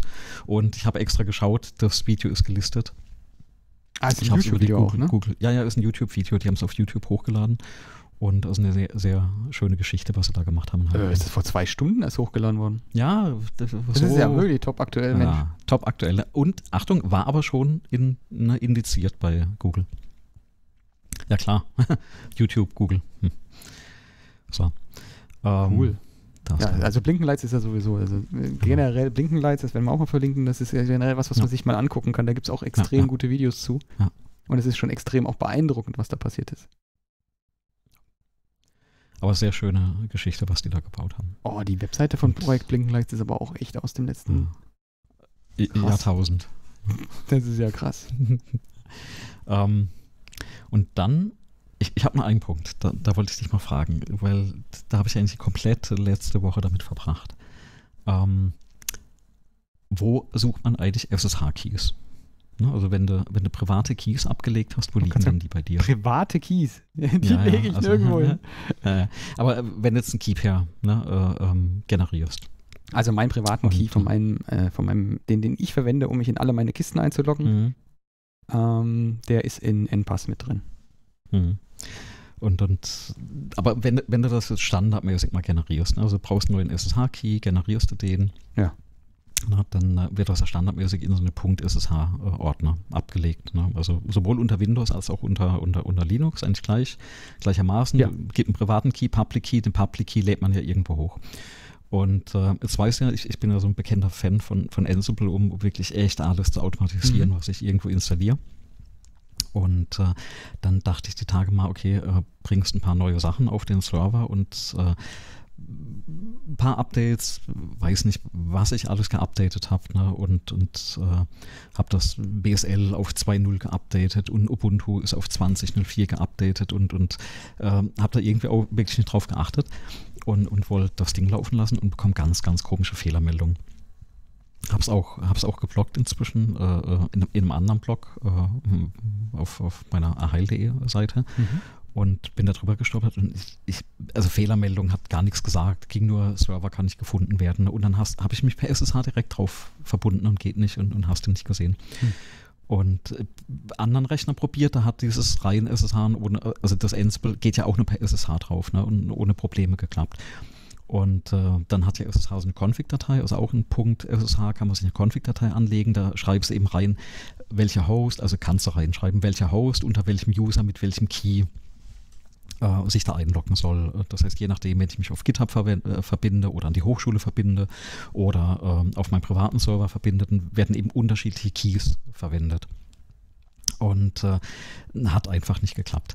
Und das Problem am Ende war tatsächlich, ähm, dass dieses Skript, das bei Ansible ausgeführt wird, als Root ausgeführt wird, weil da hier installieren und nimmt den Root SSH Key. So, genau. Und der nimmt den Root SSH Key. Hm. Und äh, ich habe da ewig lang also wirklich durchdebacken müssen, also systematisch auch geschaut, ne, versuch's mit dem User und mit einem anderen Keyfile, bis irgendwann mal eine richtige Fehlermeldung kam, wo gesagt wird, er findet dieses Keyfile nicht, ne? dieses Root, also kein Keyfile unter Root, weil er ja meins vom, vom lokalen User nicht genommen hat. Und jetzt kommt das Krasse, auf einem anderen Rechner das gleiche Skript ausgeführt, ohne so ein, ein Root SSH, geht das noch mit einer anderen Version von diesem Setup. Ich kann dir noch nicht mal sagen, an was das liegt. Hm du wirst kirre bei sowas, ja. Und das Krasse, also die Quintessenz ist, wenn du danach googelst, gefühlt die ersten 10.000 Treffer, Treffer auf Stack Overflow und sonst irgendwo, wird es immer der Software zugeschrieben. Ne? Es wird immer gesagt, hier ein Fehler in der Software und da irgendwas machen und da das Ansible und da upgraden und, und hier das Linux und also äh, hast okay. du gar nicht gesehen, was dir empfohlen wird, was du alles machen sollst. Ne? Anstelle, dass mal jemand sagt, guck doch mal, unter welchem ne, User das läuft, also tatsächlich ausgeführt wird und guck doch mal einfach mal nach, ob da auch ein, ein Key liegt. Ne? Also ärgerlich ist ja tatsächlich, dass die Software da keine ordentliche Fehlermeldung äh, äh, liefert. Ähm, ja, ja du, äh, äh, du, du, du hast es jetzt gefunden, weil ich hier verraten habe. Äh, Nö, ich habe jetzt, ich, ich hab jetzt geguckt, wie ich es gelöst hätte. Ich hätte jetzt einfach äh, geguckt, den kannst du jedem SSH-Client einen eine Identity übergeben und ich hätte meinem Ansible gesagt, wenn du SSH machst, dann machst du bitte hier immer diese Identity, dort liegt der Key. Genau, das mache ich jetzt auch. Ne? Das, ja. ist quasi das Learning aus der ganzen Geschichte. Also ich sagte ihm jetzt, welchen Key er nehmen soll. Ja. Ähm, äh, wie gesagt, standardmäßig hat er den genommen, der eben in der dieser Config-Datei hinter... Ja, ach so. Mhm. Genau, genau. Unter dem User, wo, wo ich das Ansible ausgeführt habe. Ja und eben nicht auf dem. Das sind Automatismen, die sind in den Software-Design immer ein Problem, immer ein Fallstrick. Ja, das ja, ist man, meistens ist es bequem. Und, und dann in den drei Fällen, da suchst du dich zu Tode. Genau. Ne? Und äh, dachte ich, das erzähle ich einmal, weil das ist wieder so ein Klassiker. Ne? Also, ah. ob das jetzt Layer 8 war, ne, dass du davor sitzt und einfach nicht drauf kommst, aber die Gegenprobe, ne? Die, diese, diese, ich habe ja hier so eine, eine, eine, eine ähm, Testgruppe quasi mit, mit anderen Rechnern, wo ich hingehe und führe das aus, und es geht. Ne? Ich habe ein Raspberry, habe das ausgeführt auf dem ging. Ne? Also auf zwei Rechnern mhm. ging das, unterschiedliches Betriebssystem. Und dann sitzt du an dem anderen Rechner, wo du denkst, was ist da anders? Ne? Was, also, ja, also alles, ne? Also, also alles war anders. Ich glaube, sowas fuchst. Aber ähm, ist halt echt ein, echt ein Zeitfresser. Ja. Ne? Und äh, wie gesagt, jetzt Key spezifiziert, ähm, funktioniert einwandfrei die Geschichte. Ja, also, also genau das. Okay, das hätte ich dich mal gleich gefragt, dann wäre das Problem ja gelöst. Nö, das weiß ich ja nicht, ob ich die richtige Antwort gegeben hätte. Ich bin bloß jetzt von deiner Erzählung darauf gekommen, dass ich das mal, mal, mal gucken könnte. Aber du, du kennst es, ne? Also wenn du mal weißt, woher das Problem kommt, ja. dann findest du die Lösung relativ schnell. Ne? Ähnlich wie bei den ja, ja, das Gerät. Pattern wenn, du nachher mal, ne, wenn du nachher weißt, nach welchem Gerät versuchen für USB und SCSI äh, äh, oder, oder äh, SATA, dann, dann werden wir das Ding bestimmt äh, instant äh, finden. Ja. Ähm, das ist übrigens eines der Features, äh, um jetzt mal die, die Ehre von Windows 11 zu retten. Ja. Ähm, du weißt, dass da SSH eingebaut ist in dem Terminal, ne? Äh, ja, SSH geht standardmäßig. Standardmäßig dabei, ist bei Windows 10 nicht dabei. Ja. Also schon, ja. schon allein dafür hat sich doch das Update ja. gelohnt, nicht? Ja. Aber in der Tat, also ich, für mich ist das ganz praktisch gewesen. Ja. Oh Mann. Genau. Also viel passiert die Woche und äh, ja, viel, viel gefunden eigentlich. Na, vielleicht ist da das eine oder andere dabei für jemand, der, der zuhört. Ähm, aber dann, dann lass uns doch mal zur, ähm, ja, zum zu dieser Informations Obsidian kommen, genau. Weil ähm, ich weiß nicht, was du verwendest, aber ich verwende jetzt zum Beispiel bei uns an der Hochschule, wir haben ein Confluence-Wiki, ich habe früher in der Firma Wikis verwendet. Ja. Die werden ja meistens, kennen Sie wahrscheinlich auch das Problem, die werden ja nicht wie Wikis verwendet, sondern das ist einfach eine Anhäufung von, von unendlich vielen Seiten, die editiert werden wo du hoffentlich was vielleicht in der Suche findest. Mhm dann ähm, Word-Dateien, finde ich, kann sie nie so ordentlich durchsuchen. Also bin ich irgendwie, da hat man, glaube ich, auch schon mal drüber gesprochen, ja, mal äh, hingekommen und habe gesagt, na, ich mache halt alles mit äh, Visual Studio Code und lege unheimlich viel mit äh, Markdown-Dateien an, einfach weil du die schnell schreiben kannst. Ne? Schnell runtergetippt, Protokolle runtergetippt, Gutachten, äh, also Rohfassung mal runtergetippt, äh, ähm, Meetings mitgetippt, ne, Ideen runtergeschrieben. Ja, Folien, ne? Schreibe ich mit Markdown. Ja, Klar. Und, äh, und äh, irgendwann habe ich, ja, Problem ist bei Visual Studio Code, Prokrastination. Ne? Also wenn ich Code aufmache, dann mache ich irgendwas anderes nach fünf Minuten, zum Beispiel Programmieren. und äh, das war's dann ne, mit, mit der Informationsverwaltung und, und fand ich auch ein bisschen unübersichtlich. Und dann bin ich irgendwann mal über Obsidian gestolpert und habe damit vor einer Weile angefangen, einfach Markdown-Dateien anzulegen. Die haben verlinken auch schön ne, intern. Kannst du vielleicht ein bisschen was dazu erzählen, wie du das machst? Ich verwende das Ding eigentlich rudimentär. Ähm, bin jetzt die Woche gerade drüber gestolpert, dass die ein Update hatten. Ähm, ich weiß noch nicht wirklich, ob ich das mag weil du kannst so ein Live-Review, also ich hatte folgendes, ich, ich, ich habe links die Seite, wo ich reintippe, Markdown, und rechts die Seite, wie es quasi gerendert wird. Ich bin für einer von also, denen, die schuld sind, dass sie das haben. Okay. Ah, ich habe das Ticket Dank, auch mit aufgemacht und unterstützt, ähm, damit sie ja, ein Live-Review okay. kriegen. Okay. Ich, ich erkläre dir gleich genau, was, ja, der genau. Vorteil von dem Ding ist und warum man das braucht. Genau. Na ja, okay, dann, dann erzähl mal an der Stelle. Also ich benutze Obsidian auch und ziemlich seitdem es das gibt, habe ich das irgendwann gefunden. Ich bin, benutze eigentlich schon immer irgendwie Markdown, um Notizen auf der Arbeit mhm. und auch in meinem Leben mitzuschreiben. Und ich habe immer sehr, ich habe einen sehr spezifischen Set an Features, den ich brauche, um produktiv zu sein. Und dazu gehört es, dass ich in Markdown meine Notizen machen kann, in dem Standardformat, also ganz mhm. normal das, das, das Standard Markdown-Funktion, keine Extra-Funktion irgendwie. Und ich benutze eigentlich hauptsächlich äh, ja, Outline, also dass ich ähm, sozusagen äh, Anführ also, ja, Führungsstriche und dann Listen mhm. irgendwie verwalte. Ja, ja. Und ich benutze die Strukturierung durch Überschriften und ich benutze Links und Bilder, die eingebettet sind. Mhm, mh. Und im Grunde brauche ich ein paar Funktionen, die hatte ich früher immer mit Atom. Also habe ich kistenweise Plugins in Atom, den Editor da mhm. reingekarrt und mir das auch alles konfiguriert mit einem Template. Ich habe zum Beispiel so einen Workflow, ich habe eine Tastenkombination, damit kann ich einen beliebigen Teil meines Bildschirms screenshotten. Mhm. Dann landet dieser Teil in der Zwischenablage. Dann will ich in mein Dokument einfach Steuerung V drücken, in meinem Markdown. Dann soll der eine Datei daraus zimmern, die bestimmte, auf eine bestimmte Weise benennen, in einen bestimmten Ordner reinschmeißen und die dann in den Markdown verlinken. Und das soll er bitte schön so machen, dass dieser Link zu dieser Datei stabil bleibt, egal was ich tue. Mhm, mhm. Und so ähnlich funktioniert das dann mit äh, irgendwelchen Links auf Dateien in meinem Dateisystem und mit irgendwelchen Links auf andere Markdown-Dateien. Und das ist ja jetzt so der, die geheime Soße von Obsidian, warum das Obsidian eigentlich gebaut wurde. Weil Markdown kann ja schon immer Links. Aber so richtig ein Editor, also auch Visual Studio Code oder so, die können ja auch Mhm. Markdown editieren, aber so einen richtigen Editor, der akzeptiert, dass es Links gibt Mhm. und die so unterstützt, dass du zwischen denen navigieren kannst und die auch noch für Suche, Filtern, ähm, für alles Mögliche sozusagen verwenden kannst, der sich dem, dem Fakt auch bewusst ist, dass es sich bei diesen Links um einen Graphen handelt, der in beide Richtungen beschritten werden kann. Ähm, das macht dieses Obsidian so in a nutshell aus. Und dann äh, ist es einfach eine Sammlung von Funktionen, die eigentlich echt alles abdecken, was man so im Produktivitätsalltag braucht. Du hast jetzt gesagt, dieses Feature mit diesem Live-Preview-Modus. Also man hat im Grunde drei mögliche Darstellungsformen des Editorfensters bei Obsidian. Die eins ist äh, Markdown. Da ist einfach, steht einfach Markdown-Text Genau, im Bild. ja, ja. Fertig. Kannst du auch einschalten, immer noch. Ist aber immer noch drin, ne? Ist, Naja, Du wirst beim ersten Start dann irgendwie gefragt, möchtest du gerne den Live-Preview-Modus haben? Der Live-Preview-Modus ist, es gibt ja eine Preview-Version auch von diesem Markdown. Genau, du kannst da drauf genau. drücken, dann rendert der das dann in schönen Überschriften und in die Bilder werden dann angezeigt und ich weiß nicht was alles und du siehst dann halt den Markdown-Code nicht mehr, sondern nur noch das Ergebnis, was der Markdown-Code repräsentiert.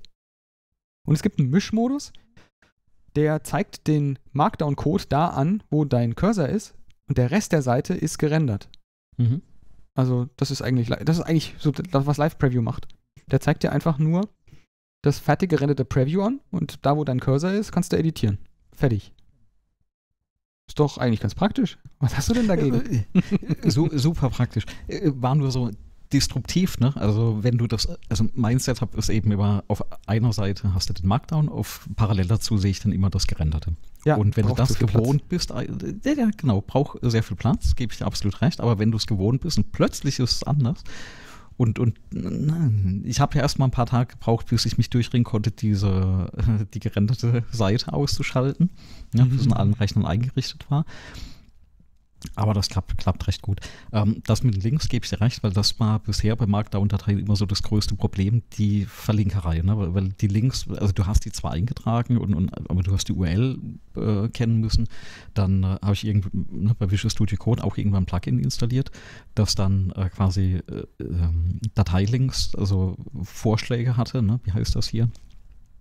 Ähm, also tatsächlich rausgesucht hat und, und geschaut hat, das, was ich gerade eintippe, äh, gibt es überhaupt diese URL äh, oder den, den Link auf dem Dateisystem, gibt es die Datei, das Verzeichnis, weil das standardmäßig alles nicht mitkommt. Mhm. Und äh, bei dem Obsidian gibst du einfach eine eck- eckige Klammer ein und fängst an tippen, der Name der Datei, die du verlinken möchtest erstmal. Also von der Markdown-Datei, die in Obsidian drin ist. Und kriegst direkt als Vorschlag fertig. Ne? Und, und da kannst du schon relativ schnell und gut mitarbeiten. Ja. Ähm, Bilder reinkopieren habe ich, ich überlege gerade, habe ich noch gar nicht. Doch, habe ich gemacht. Ich habe vor kurzem sogar eine sehr spannende Geschichte gemacht. Ich habe aus, ähm, für eine Besprechungsnotiz, dachte ich mir, ähm, da war eine E-Mail, dachte ich, oh, ähm, musste, darf, darfst du nicht vergessen und äh, mach das in die To-Do-Liste rein, die ich da auch drin pflege. Und habe ohne groß drüber nachzudenken einfach die Datei aus dem Outlook per Drag and Drop in das Obsidian reingezogen und hat einfach die, die äh, EML-Datei, also die, die Mail-Datei quasi kopiert, abgelegt im, im Ordner und hat das auch direkt verlinkt. Also er hat es jetzt nicht schön gerendert oder so, weil ich glaube, er wusste nicht, wie er mit dieser Mail-Datei umgehen soll. Mhm. Aber ähm, er hat die reingepackt, reinkopiert, sodass, wenn ich die auch anklicke, diese Mail-Datei aufgeht. Ja. Ist dann zwar eine Kopie, aber für, für das, wo ich das spontan gebraucht hatte, hat das super geklappt. Ja, also da Ja, verrate ich dir vielleicht nochmal den, einfach den, den Prozess, den Ja. ich habe bei mir. Ähm, also das, das, was ich da jetzt erzähle, das habe ich auch alles schon bei mir im, im Unternehmen erzählt. Mhm. Und deswegen gibt es da auch Leute, denen ich da irgendwie, die ich da schon überredet, nee, sagt man das? Überzeugt? Nee, war vielleicht auch nicht. Die das jetzt auch Empfohlen. machen. Die das jetzt auch machen. Die haben das gesehen und haben gesagt, das ist aber cool. Und zwar ähm, gibt es bei mir so eine ganz feste Ordnung. Es gibt, alles geht von einem Kalender aus. Mhm. Und ich habe ja an einem, an einem Tag habe ich bestimmte Dinge, die passieren. Mhm. Und da gibt es einen Kalender, gibt es als Plugin in Obsidian. Da klicke ich auf den Tag, Mhm. dann erstellt er mir eine Tagesnote, eine Mhm. Notiz für den Tag und dann schreibe ich dann zum Beispiel, wir, ich mache jetzt Podcast-Aufnahme, Hack the Planet 28. dann selektiere ich den Text, drücke eine Tastenkombination, dann refakturiert er den Text, macht Mhm. eine neue Notiz aus diesem Text, den ich selektiert habe, draus, mit einem Template, das schon sozusagen vorausgewählt ist. Und in dem Template steht dann sowas wie ähm, äh, Links zu Personen, die teilnehmen. Da steht dann eine Liste mit einfach nur der Name als Markdown-Link. Mhm. Mhm. Also Andreas Heil zum Beispiel steht da drin. Und den, entweder generiert er das selbstständig automatisch oder ich habe dann zum Beispiel ein Plugin bei Outlook ähm, mit Auto-Hotkey. Hat ein Kollege gebaut. Da drücke ich Steuerung L, wenn ich auf einer E-Mail oder auf einem Termin drauf bin und dann Mhm, kopiert er mhm. mir die Namen von den Teilnehmern, die zugesagt haben, in die Zwischenablage im Markdown-Format. Das heißt, er erzeugt mir sozusagen schon die Links. Auch die Dokumente gibt es vielleicht noch gar nicht. Aber was ich damit erreiche, ist, jedes meiner Notizen von den Meetings haben die Namen zum Beispiel der Personen drin, mit denen ich da gesprochen habe. Mhm. Und ich komme über den Namen wieder zu allen Meetings, die ich mit der Person hatte. Also du Mhm. kannst diese komplette Verkettung, die entsteht ja, dann ja. vollautomatisch. Und ich habe jetzt mittlerweile irgendwas um die, na, ich hab, kann gerade hier drüber havern, so, so, so Meeting-Notizen, 14.689 Meeting-Notizen.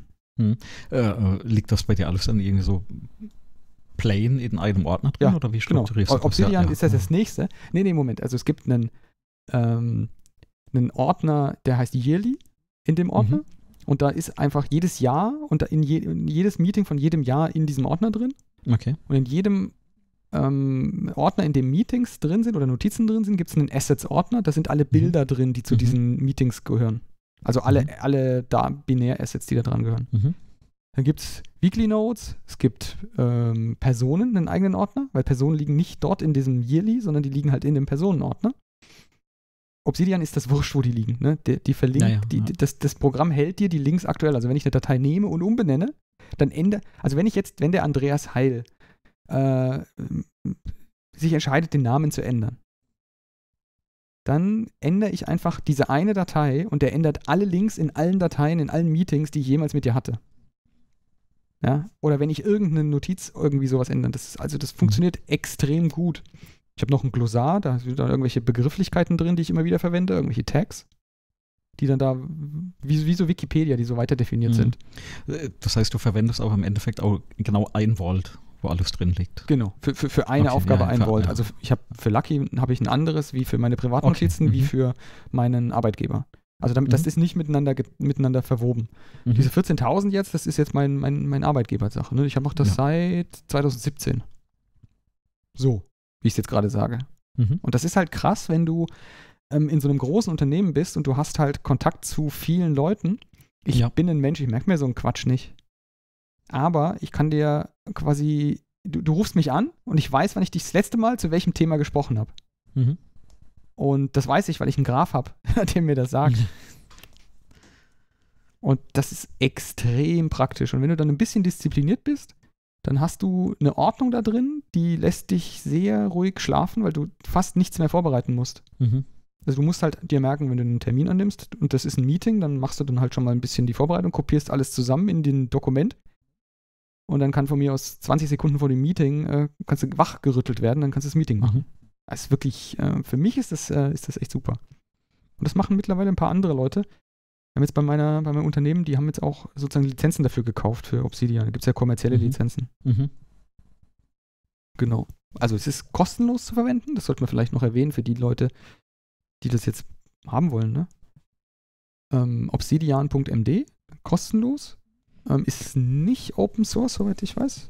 Ist, also die ganzen Plugins sind alle Open Source, aber das Mhm. Obsidian selber ist nicht Open Source.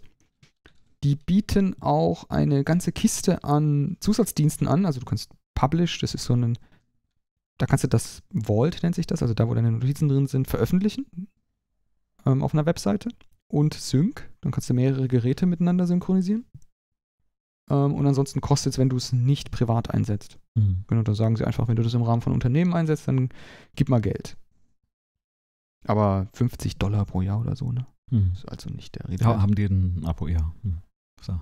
Ja, macht ja Sinn. Macht ja Sinn für die. Also besonders bei kommerziellen Sachen macht das total Sinn, ein Abo zu machen. Finde ich. Also ich finde das jetzt völlig Ich finde find sehr, sehr schön. Notes for your grandchildren. In our age when cloud services can shut down, get bored or change privacy policy Ja. a, a day, any day. Ja. Haben Sie Ja, da haben Sie recht, ne? Völlig, völlig recht. Das, also, das ist, äh, deswegen hatte ich übrigens auch angefangen, also genau das, was du sagst. ne? Also ich habe das noch nicht automatisiert. Ähm, ich habe jetzt halt für bestimmte Arten von Meetings eben mit so, so Templates, wie du sagst, angelegt, die ich momentan tatsächlich von Hand noch kopiert habe. Mhm. Aber das war genau der Punkt, wo es mich tatsächlich jetzt ein bisschen überzeugt hat, weil ich habe das tatsächlich auf dem Rechner. Ich habe das mit Resilio wieder über zwei Rechner gesynkt, dass ich diesen Vault halt entsprechend ähm, auf den Rechnern habe. Und damit findest du die Infos schneller. Mhm. Also es hakt noch an dieser Disziplin, weil einfach diese Workflows noch nicht so drin sind, weil ich habe, wie gesagt, noch viel bisher mit dem äh, äh, mit dem Visual Studio gemacht, mit dem Code. Und ähm, da lag das eben verstreut. Ne? Und ich muss das ganze Zeug noch ein bisschen konsolidieren. Aber da scheint das tatsächlich so der, der Editor äh, zu sein, den ich jetzt auch längerfristig noch einsetzen werde. Ne? Ja, also ist für mich auf jeden Fall auch. Ich meine, du wirst jetzt, du darfst jetzt mal kurz hier in meinen Vault reingucken. Bitte, wenn ich den jetzt hier irgendwie sehe. Kann ich das nicht scheren? Nee, er will nicht. Oder? Nö, ich sehe nichts, aber So, jetzt. Und du Hm. siehst jetzt einen, also vielleicht das Bild kann man vielleicht auch mit irgendwo hinpacken, keine Ahnung. Du siehst jetzt sozusagen den Graphen mit den verschiedenen Farben und dann siehst du verschieden gefärbt halt die Glossar-Einträge, die Personen, die da drin verlinkt sind und so weiter. Und das ist halt wirklich, na, ich, ich sehe nichts. Ich sehe nichts. du siehst nichts. Mir, mir geht das wie den Zuhörern. Nee, ich sehe nichts. Ich sehe nur deine Kamera. Ah. Du musst da, glaube ich, draufklicken. Dieses Discord ist einfach ein furchtbares Ding. Ist dafür nicht gedacht. Und jetzt hallst du. Jetzt nicht mehr. So, jetzt nicht mehr. Genau. Hahaha. Im Discord, da ja, müsste ja, ein da, Fenster zu sehen. da, da, da waren da. Ah, nee. Na, da hätte was Ich lass mal drauf, du findest das schon. Ähm, genau. Also Obsidian ist tatsächlich so ein Produktivitätswerkzeug. Mhm. Das ist das Programm, was bei mir immer offen ist. Und Ja. dadurch, dass ich diesen Preview-Modus habe, ist das Fenster eigentlich immer so eine Seiten, ist immer so ein, so ein Drittel auf der rechten Seite von meinem Monitor. Mhm. Und da packe ich den Text rein und kopiere mir die Meetings, Sachen raus und so weiter und so fort. Ich muss Stream anschauen. Ja, Draufklicken. Das kann ja sein. Nicht Bildschirm. Stream. Stream anschauen. Okay. Ja, sehr cool. Da sind ja ein paar Dateien, ja. Mhm. Ja, es ist ein bisschen, es ist ein bisschen. Und ähm, das ist halt wirklich praktisch, wenn du dann auch einfach danach suchen kannst. Also das ist ja alles lebend. Ähm, und Ja, du kannst ja. einfach Sachen damit tun. Das ist nicht einfach nur Wissen, was irgendwie rumliegt, sondern das ist Ja. Wissen, was du, was du, mit dem du interagieren kannst und was du auch wieder Mhm. cross verlinken kannst. Und Ja, ja. in 0, nix hast du halt Informationen zusammen. Super. Genau. Mhm. Und es ist halt auch wirklich ein Graph. Mhm. was halt wirklich cool ist. Genau. Das äh, Obsidian, mich würde interessieren, wie das die, wie das die Zuhörer machen. Ob die ein anderes System verwenden oder, weil es gibt ja ver- diverse, das ist mein Gehirn abgebildet auf Markdown-Systeme, die man irgendwie in der Cloud haben kann. Also das ist vielleicht auch noch gesagt ein Vorteil von Obsidian, ne? Das ist ja komplett lokal. Das gibt es für alle Plattformen. Also das habe ich auf einem Mhm. iPhone, auf einem iPad, auf einem Mhm. Mac, auf einem Linux, auf einem Windows, ist völlig egal. Und das braucht eigentlich einen Ordner und in dem Ordner sind Unterordner und Dateien und das war's.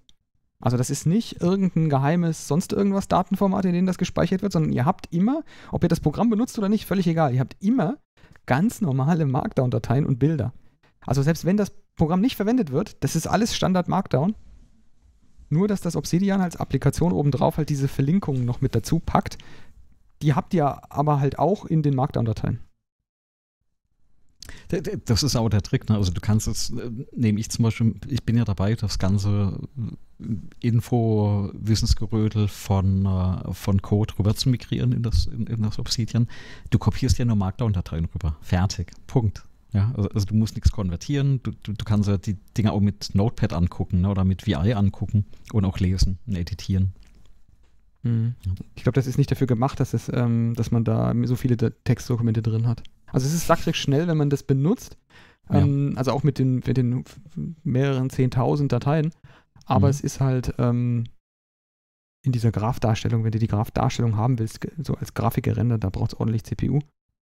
Ähm, ich glaube, das, Ist es geschrieben in äh, JavaScript? yep, komplett. Ja, dann heißt es läuft eben. Äh, Electron, da ist der Ähm, Browser mit dabei, ein Chrome. ja, okay. Aber das ist nicht so arg schlimm tatsächlich. Ja. Ähm, das Ding ist wirklich schnell. Es ist schneller als Ja, Visual ja. Studio Code. Also auch was Und Code- Indizieren und, und- so weiter angeht. ja.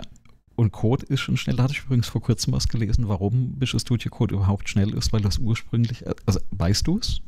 Nee. Warum Code also relativ schnell ist oder sehr, äh, eigentlich schon sehr schnell ist. Hm. Ähm, weil Visual Studio Code ursprünglich geschrieben wurde, nicht als das, was es Stand heute ist, als eine Anwendung, die in Electron läuft, sondern das war ursprünglich tatsächlich fürs Web programmiert. Und da war eben diese Anforderung, das muss einfach rattenschnell laufen Hm. weil es im Web läuft und weil es im Browser läuft. Und äh, dann haben die da sehr viel, also auch für den Ansätzen, die sie reingebracht haben, sehr viel programmiert, ähm, dass es eben sehr, sehr schnell ist, effizient entwickelt oder, oder abläuft. Und ähm, das haben sie zum Glück beibehalten. Ne? Das kann man jetzt nicht von jedem Plugin äh, sagen, aber Code an sich von, von Ja, ich habe auch das Gefühl, mit Plugins wird es langsamer. Ja, ja, mit, mit Plugins wird es langsam. Aber deswegen fand ich das jetzt eigentlich auch so gut trennen. Ne? Also einmal von dieser Informationsverwaltung und dann eben immer noch dem Tool, wo alles drin ist. Ich, ich mache ja alles mit dem Code. Ne? Also da ist ja Programmieren ist drin. Ich habe inzwischen mein Java, also ne, äh, Java-Programmieren mache ich da drin. Das ist ja Heavyweight, ne? wenn du das alles drin hast. Ähm, Okay, das machst du im Dann- Visual Studio Code. dann- ja, ich habe äh, genau .NET Programmieren mache ich ausschließlich nur noch in Code. Die komplette JavaScript und Webentwicklung mache ich in Code. Ich mache Jekyll Entwicklung in, in, in Code. Ähm, Warum äh, nicht in der Visual Studio Community Edition? Weil ich nur noch einen Editor quasi so. das Code drin habe. Ich mache mein, mein, mein Plant-UML, mache ich alles in Code. Ne? Äh, Vorlesungsfolien mache ich in Visual Studio Code, eben die Markdown-Geschichten. Ähm, also eigentlich, ich mache nur noch Visual Studio Code auf. Ich habe das auch so organisiert. Ich mache eben einen entsprechenden, ich gehe in einen Ordner rein, wo ein Projekt drin liegt, ruf Code-Punkt auf ne, auf der Konsole und dann geht halt das auf, was da drin ist. Ein Java-Projekt oder ist es, also der Workspace, ne, oder ist es jetzt eben Ding, Lat LaTeX, ne, also LaTeX-Dokumente Mhm. ähm, äh, schreibe ich in Code. Also das, das ist halt alles drin und dann ist das Ding halt irgendwann wirklich Heavyweight. Ne? Also du hast halt alles drin laufen. Es läuft immer noch schnell ne? und du kannst immer noch ordentlich mitarbeiten. Aber das ist wirklich ein Arbeitspferd, was du da hast. Und das Ding ist halt nicht aus meiner Sicht, wie ich es verwende, zur Informationsverwaltung. Und wie gesagt, dann, Ja, dann kommt halt auch schnell durcheinander. Ne? Also dann, dann mixen auch sehr schnell deine Projekte, den Code mit den Dokumenten und dann findest du das Zeug wieder nicht. Ne? Und gerade diese Graph-Übersicht hier, also so bin ich ja auf das Obsidian gekommen, weil ich mal so einen Screenshot von diesem Graphen gesehen habe. Ne, Ich komme ja aus der Web-Ecke und immer so propagiert auch mit, mit Semantic Web und ne, hast ja Graphen und äh, äh, du hast ja auch immer, ne, jeder Link ist am, oder ist am Prinzip so ein Triple, wo du dann Graph äh, mit Genau. aufbaust. Und äh, dann war, also so lokal genau das, was ist. Ich, ich hatte ja auch alles ausprobiert. Ne? Gab mal ein Tool oder gibt es vielleicht noch The Brain, wo du auch so ein Netzwerk aufbauen konntest, ähm, wo du so alles mögliche reinkopieren kannst. Ähm, ich ich habe so ziemlich jedes Tool ausprobiert, was du da verwenden kannst. Ne? Wie gesagt, bei Wikis, du, du suchst ja länger, als dass du was findest und dann ist es immer sehr zerstreut. Am Ende ähm, arten diese Tools ja immer darin aus, dass du dann doch wieder eine Taxonomie erstellst, dass du Informationen strukturiert ablegst. Und Ja. jedes Mal ja nachdenken musst, wo habe ich eigentlich die Infos abgelegt? Ne? Also wo liegt eigentlich die Besprechung, wo liegt eigentlich der Termin, ne? wo ist denn das eigentlich? Weil über die Suche findest du meistens so Dinge nicht. Ne? Deswegen heißt das auch immer Suche und nicht finde. Ne? Mhm. weil eigentlich, eigentlich möchte ich ja finden und nicht suchen. Ne? Und äh, äh, so bin ich ja drauf, äh, drauf gekommen. Und, Mhm. äh, aber ich habe gesehen, ne? ich, ich habe gerade noch so ein paar Ideen bekommen von dir. Also ich denke mal, äh, werde ich mal probieren. Und mich würde das auch interessieren, wie andere das machen. Also die zuhören, lassen es doch mal wissen. Also entweder ne, im Discord oder wie gesagt in den Kommentaren. Wie macht ihr das eigentlich? Also, weil es sind ja Unmengen Informationen, mit denen wir eigentlich Stand heute umgehen müssen. Wie, wie, kriegt ihr das eigentlich hin? Okay, ich stelle gerade zu meinem Erstaunen fest, dass ich über Obsidian noch nie get, äh, ge, geblockt habe. Das ist seltsam. Ja, Das ist wirklich also auch den. Workflow hast du noch nie, noch nie beschrieben im, im Blog. Ja, das sollte ich vielleicht mal tun. Also, weil den Ja. habe ich tatsächlich schon ganz oft präsentiert, ähm, firmenintern bei uns, weil das Mhm. halt wirklich etwas ist, wo ich sage, das hat meinen Arbeitsalltag beeinflusst. Und das, das, das Tolle ist, zukünftig musst du ja in der Firma also gar nicht mehr erzählen, sondern gibst einfach den Link zu Episode 28, sagst du. Das funktioniert ähm, nicht. Das da- funktioniert nicht. Ist- Schön wäre es, wenn es funktionieren würde. Schön wäre es. Aber Obsidian an sich, ähm, das löst ja, ja die Probleme auch nicht, dass du Ordnung halten musst. Du musst ja immer noch Mhm. diszipliniert Ja. mit, den Daten, Ja, mit, deinen, mit deinen Eingaben umgehen. Aber es ähm, hilft dir an wirklich an allen Stellen, weil es konfigurierbar ist, weil es schon Workflows mitbringt. Mhm. Das ist vielleicht auch nochmal zu empfehlen. Es gibt ähm, eine ganze Menge Leute, die haben ihren Workflow genommen und haben ihn in so ein Beispielpaket gepackt. Und es gibt so ein Standard-Beispielpaket für Obsidian, wo du, wo sich diese Workflows selber erklären. Also es gibt ja verschiedene Ansätze, Zettelkasten und wie das Zeug alles heißt. Und das werde ich auch nochmal verlinken. Mhm. Genau. Ja. Ja, Mensch, haben wir es doch noch geschafft, einen, einen, einen, einen, Text über den Obsidian zu, zu, einzusprechen. Ja, zum Glück. Ja, und die entwickeln das halt auch immer weiter. Die haben jetzt wirklich ähm, eine, eine, eine iOS-App geliefert. Da, Das habe ich gerade gesehen, ja. ja. damit du da Sync bekommst, musst du halt der ihr Sync-Produkt kaufen. Den, Mhm. den Sync-Service, der kostet irgendwie auch pro Monat irgendwie Geld. Funktioniert dafür halt offensichtlich sehr gut. Gibt auch ähm, so nachgebaute Sync-Services, die kann ich, von denen kann ich abraten. Die funktionieren alle nicht. Also funktionierten nicht, als ich sie testete. Kann sein, dass sie mittlerweile total toll sind, aber man will keine Daten verlieren. Und das sind, das nächste Problem ist ja, ne, ähm, die erste, also ich würde sagen, von fünf Kollegen, denen ich das gezeigt habe, war die erste Mhm. Reaktion, das synchronisiere ich mit Git. Mhm. Und das ist cool, das funktioniert. Okay. Aber das funktioniert nicht mit so vielen Dateien. Mhm. Es dauert, ohne Witz, auf dem, auf dem Vault, was ich da jetzt habe für, für die Arbeit, Ja. dauert es auf einem 6-Kern-Rechner irgendwas um die zwei Minuten, bis der ein Git-Add gemacht hat. Also bis ich Wow, Git-Add minus okay. A drücke ich Ja, Enter und dann dauert es zwei Minuten. Und das müsstest du ja, das willst du ja eigentlich sozusagen bei, jeder, bei jedem Speichervorgang einmal Mhm. machen. Ja. Äh, das geht nicht. Und der Rechner ist auch echt beschäftigt dabei. Das, das geht nicht. Das geht nicht. das geht nicht. Das geht, geht nicht. Das geht, das geht nicht. danke. Das geht auch noch in der deutschen Sprache. Aber Git Wortspiel. ist da wirklich ziemlich, ziemlich Mhm. langsam. Und ich habe, Okay, und ich dachte immer, ich, ich dachte immer, Git ist für viele kleine Dateien super. ja, ist es doch bestimmt auch. Ja. Ähm, es ist halt bloß irgendwie, Ja. es dauert halt. Hm. Ähm, wie synchronisierst du dann? Mein privates Vault und- mit Resilio und mein Firmenvault Mit gar nicht. Okay. Also okay, mein Firmenvault okay, ist per ja. Definition einfach sicherheitstechnisch, ne? da sind Daten, Ja, ja, Sicherheit und so weiter, das ist nicht Mhm. synchronisiert. Aber das, ähm, meine privaten Vaults, das Lucky Vault und so, das mal schmeiße ich in Oh, Resilio, Resilio, und das Resilio interessiert sich überhaupt nicht. Wir sind einfach Dateien für. Resilio fertig. Du musst nur darauf achten, dass du dieses, ähm, äh, Resilio kann ja dieses äh, manche Dateien nicht lokal synchronisieren Feature. Dann ist so ein Platzhalter-Datei dann Mhm, da. mhm. Ja, das ja. solltest du ausschalten. Das mag es nicht. Okay, ja. Ja, aber ansonsten. Ja. Also vor, vor allem, weil Resilio jede Datei einmal öffnet, wenn du das Ding startest, weil das Mhm. indiziert die ja, beim, wenn du es einmal gestartet hast, Mhm. damit das schnell sucht. Weil die Suche ist echt schnell. Ich habe keine Ja, Ahnung, Obsidian warum geht so lange. Ja, Obsidian meine ich. Ja. Die Suche ist wirklich gut. Und die ist auch intelligenter, als man meinen möchte, weil sie eben diese Links hat, weil, weil du sie eben füttern kannst mit Kontext. Aber wei weißt du was? Ich habe die Suche noch gar nicht verwendet. Dafür hast du was verpasst. Naja, hast du, hast du, hast du gut organisiert, dein, dein, dein Vault? Ja, hast einfach nichts gesucht. Hast du immer direkt gefunden. Äh, Ja, ja, ja, immer, immer direkt gefunden. Die blöde Taxonomie, weil ich es da tatsächlich noch nach Ordnern sortiert habe. Muss ich mal noch ändern. Ja, also ich, ich finde, du, also ich finde, mir hilft es, möglichst wenig zu haben. Also es ist wirklich der eine Ordner des Jahres und da liegen alle Notizen des Jahres Ist- drin. Weil macht, es ist scheißegal, wie die, wie die Ordnerstruktur ist. Ähm, ist ja tatsächlich auch mein Ansatz äh, bei E-Mails. Ich habe eigentlich gar keine große Taxonomie mehr bei, bei E-Mails, sondern ich gehe hin, ich habe einen Archivordner. Das Mhm. heißt, äh, Genau. kommt eine E-Mail rein, Pro Jahr oder Ähm, äh, insgesamt? insgesamt. Ich Ja. baller da alles rein, weil die Suche, also, ne, also ich verwende auch Outlook, also die Suche ist gut. Ne? Mit der finde ich eigentlich alles, was ich suche. Ja, ja. Wir, wir für das, mal was ja. ich brauche. Ne? Sagen wir, für das, was ich brauche, reicht das eigentlich. Ähm, und ähm, ich packe da alles in, in ein Archiv rein. Das heißt, entweder ich kann eine Mail löschen, weil sie ist eh irrelevant. Ich kann eine Mail bearbeiten oder antworte und kann sie löschen oder sie wird archiviert, aber ich hebe die eigentlich nicht lange auf. Das heißt, eigentlich mache ich schon dieses Zero Inbox. Mhm. Ähm, oder versucht das zumindest, dass da bis abends eigentlich immer aufgeräumt ist.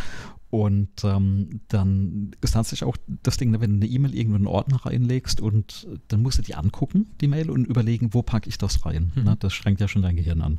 Und dann suchst du die E-Mail irgendwann und dann musst du nachdenken, wo habe ich diese E-Mail reingelegt. Ja, und dann strengst du dein Gehirn schon wieder ein. Und die Wahrscheinlichkeit, dass du da eine dich falsch erinnerst, ne? die ist ja gegeben. Und deswegen habe ich irgendwann angefangen, pack das alles da rein. Also die Suchen wurden ja auch irgendwann immer besser und dann klappt das eigentlich ganz gut. Und da versuche ich eigentlich immer den Leuten zu erklären, guck mal, das ist einfach, wie ist das einfach? Also wie oft brauchst du was? Man, man, findet das eigentlich dann, dann schon irgendwie. Ne? Und man, man spart sich einfach Nerven und Zeit mit dieser Wegsortiererei, weil irgendwann hast du doch so viele Ordner, dass du wieder unendlich lange dran sitzt, einen richtigen Ordner zu finden.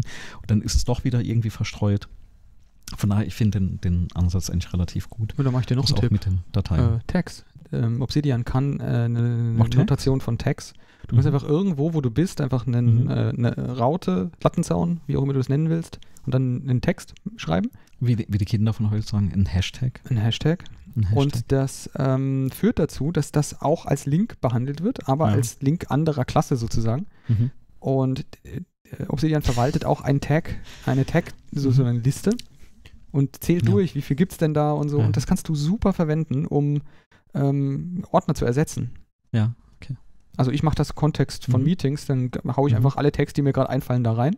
Mhm. Ähm, und wenn es keine einfallen, dann fallen mir keine ein. Aber so findest, ist die Wahrscheinlichkeit, dass du was findest, mehr. Und du kannst mhm. einen, kannst du mehr als einen Tag vergeben, was bei Ordnern schwierig ist. Weil das ist ja das Hauptproblem, wenn du diese Ordnerstruktur hast. Was machst du mit einer E-Mail, die in zwei muss?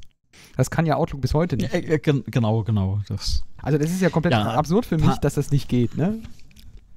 Ja, pa pass mal auf. Ich hatte, ich hatte früher oder ich, Bekannten, die haben Bekannte, die haben ganz gigantische äh, DVD-Sammlungen gehabt. Ja. Und äh, die hatten genau dieses Taxonomie-Problem, weil die, äh, äh, weiß nicht, alphabetisch, thematisch irgendwie die, die Regale geordnet oh, haben. Ja. Also gigantische Sammlungen. So. Und kennst du die, oder kennst du es noch von früher, diese DVD-Boxen, wo Doppelfolgen drin waren? Mhm. Zwei, zwei Filme in, in einer Box. Weißt du, mhm. was die gemacht haben? Die haben sich dann quasi diese Box zweimal, zweimal wo reingestellt, ja, zweimal wo reingestellt oder ausgedruckt und zweimal wo reingestellt. Und in einer Box haben sie dann einen Zettel reingelegt, dass die DVD in der anderen Box drin ist. Ouch. Also so ein, so ein Softlink quasi. Ne, ah, auf, okay, auf das ist jetzt DVD. sprichwörtlich ein Softlink, um Gottes Willen. Ja.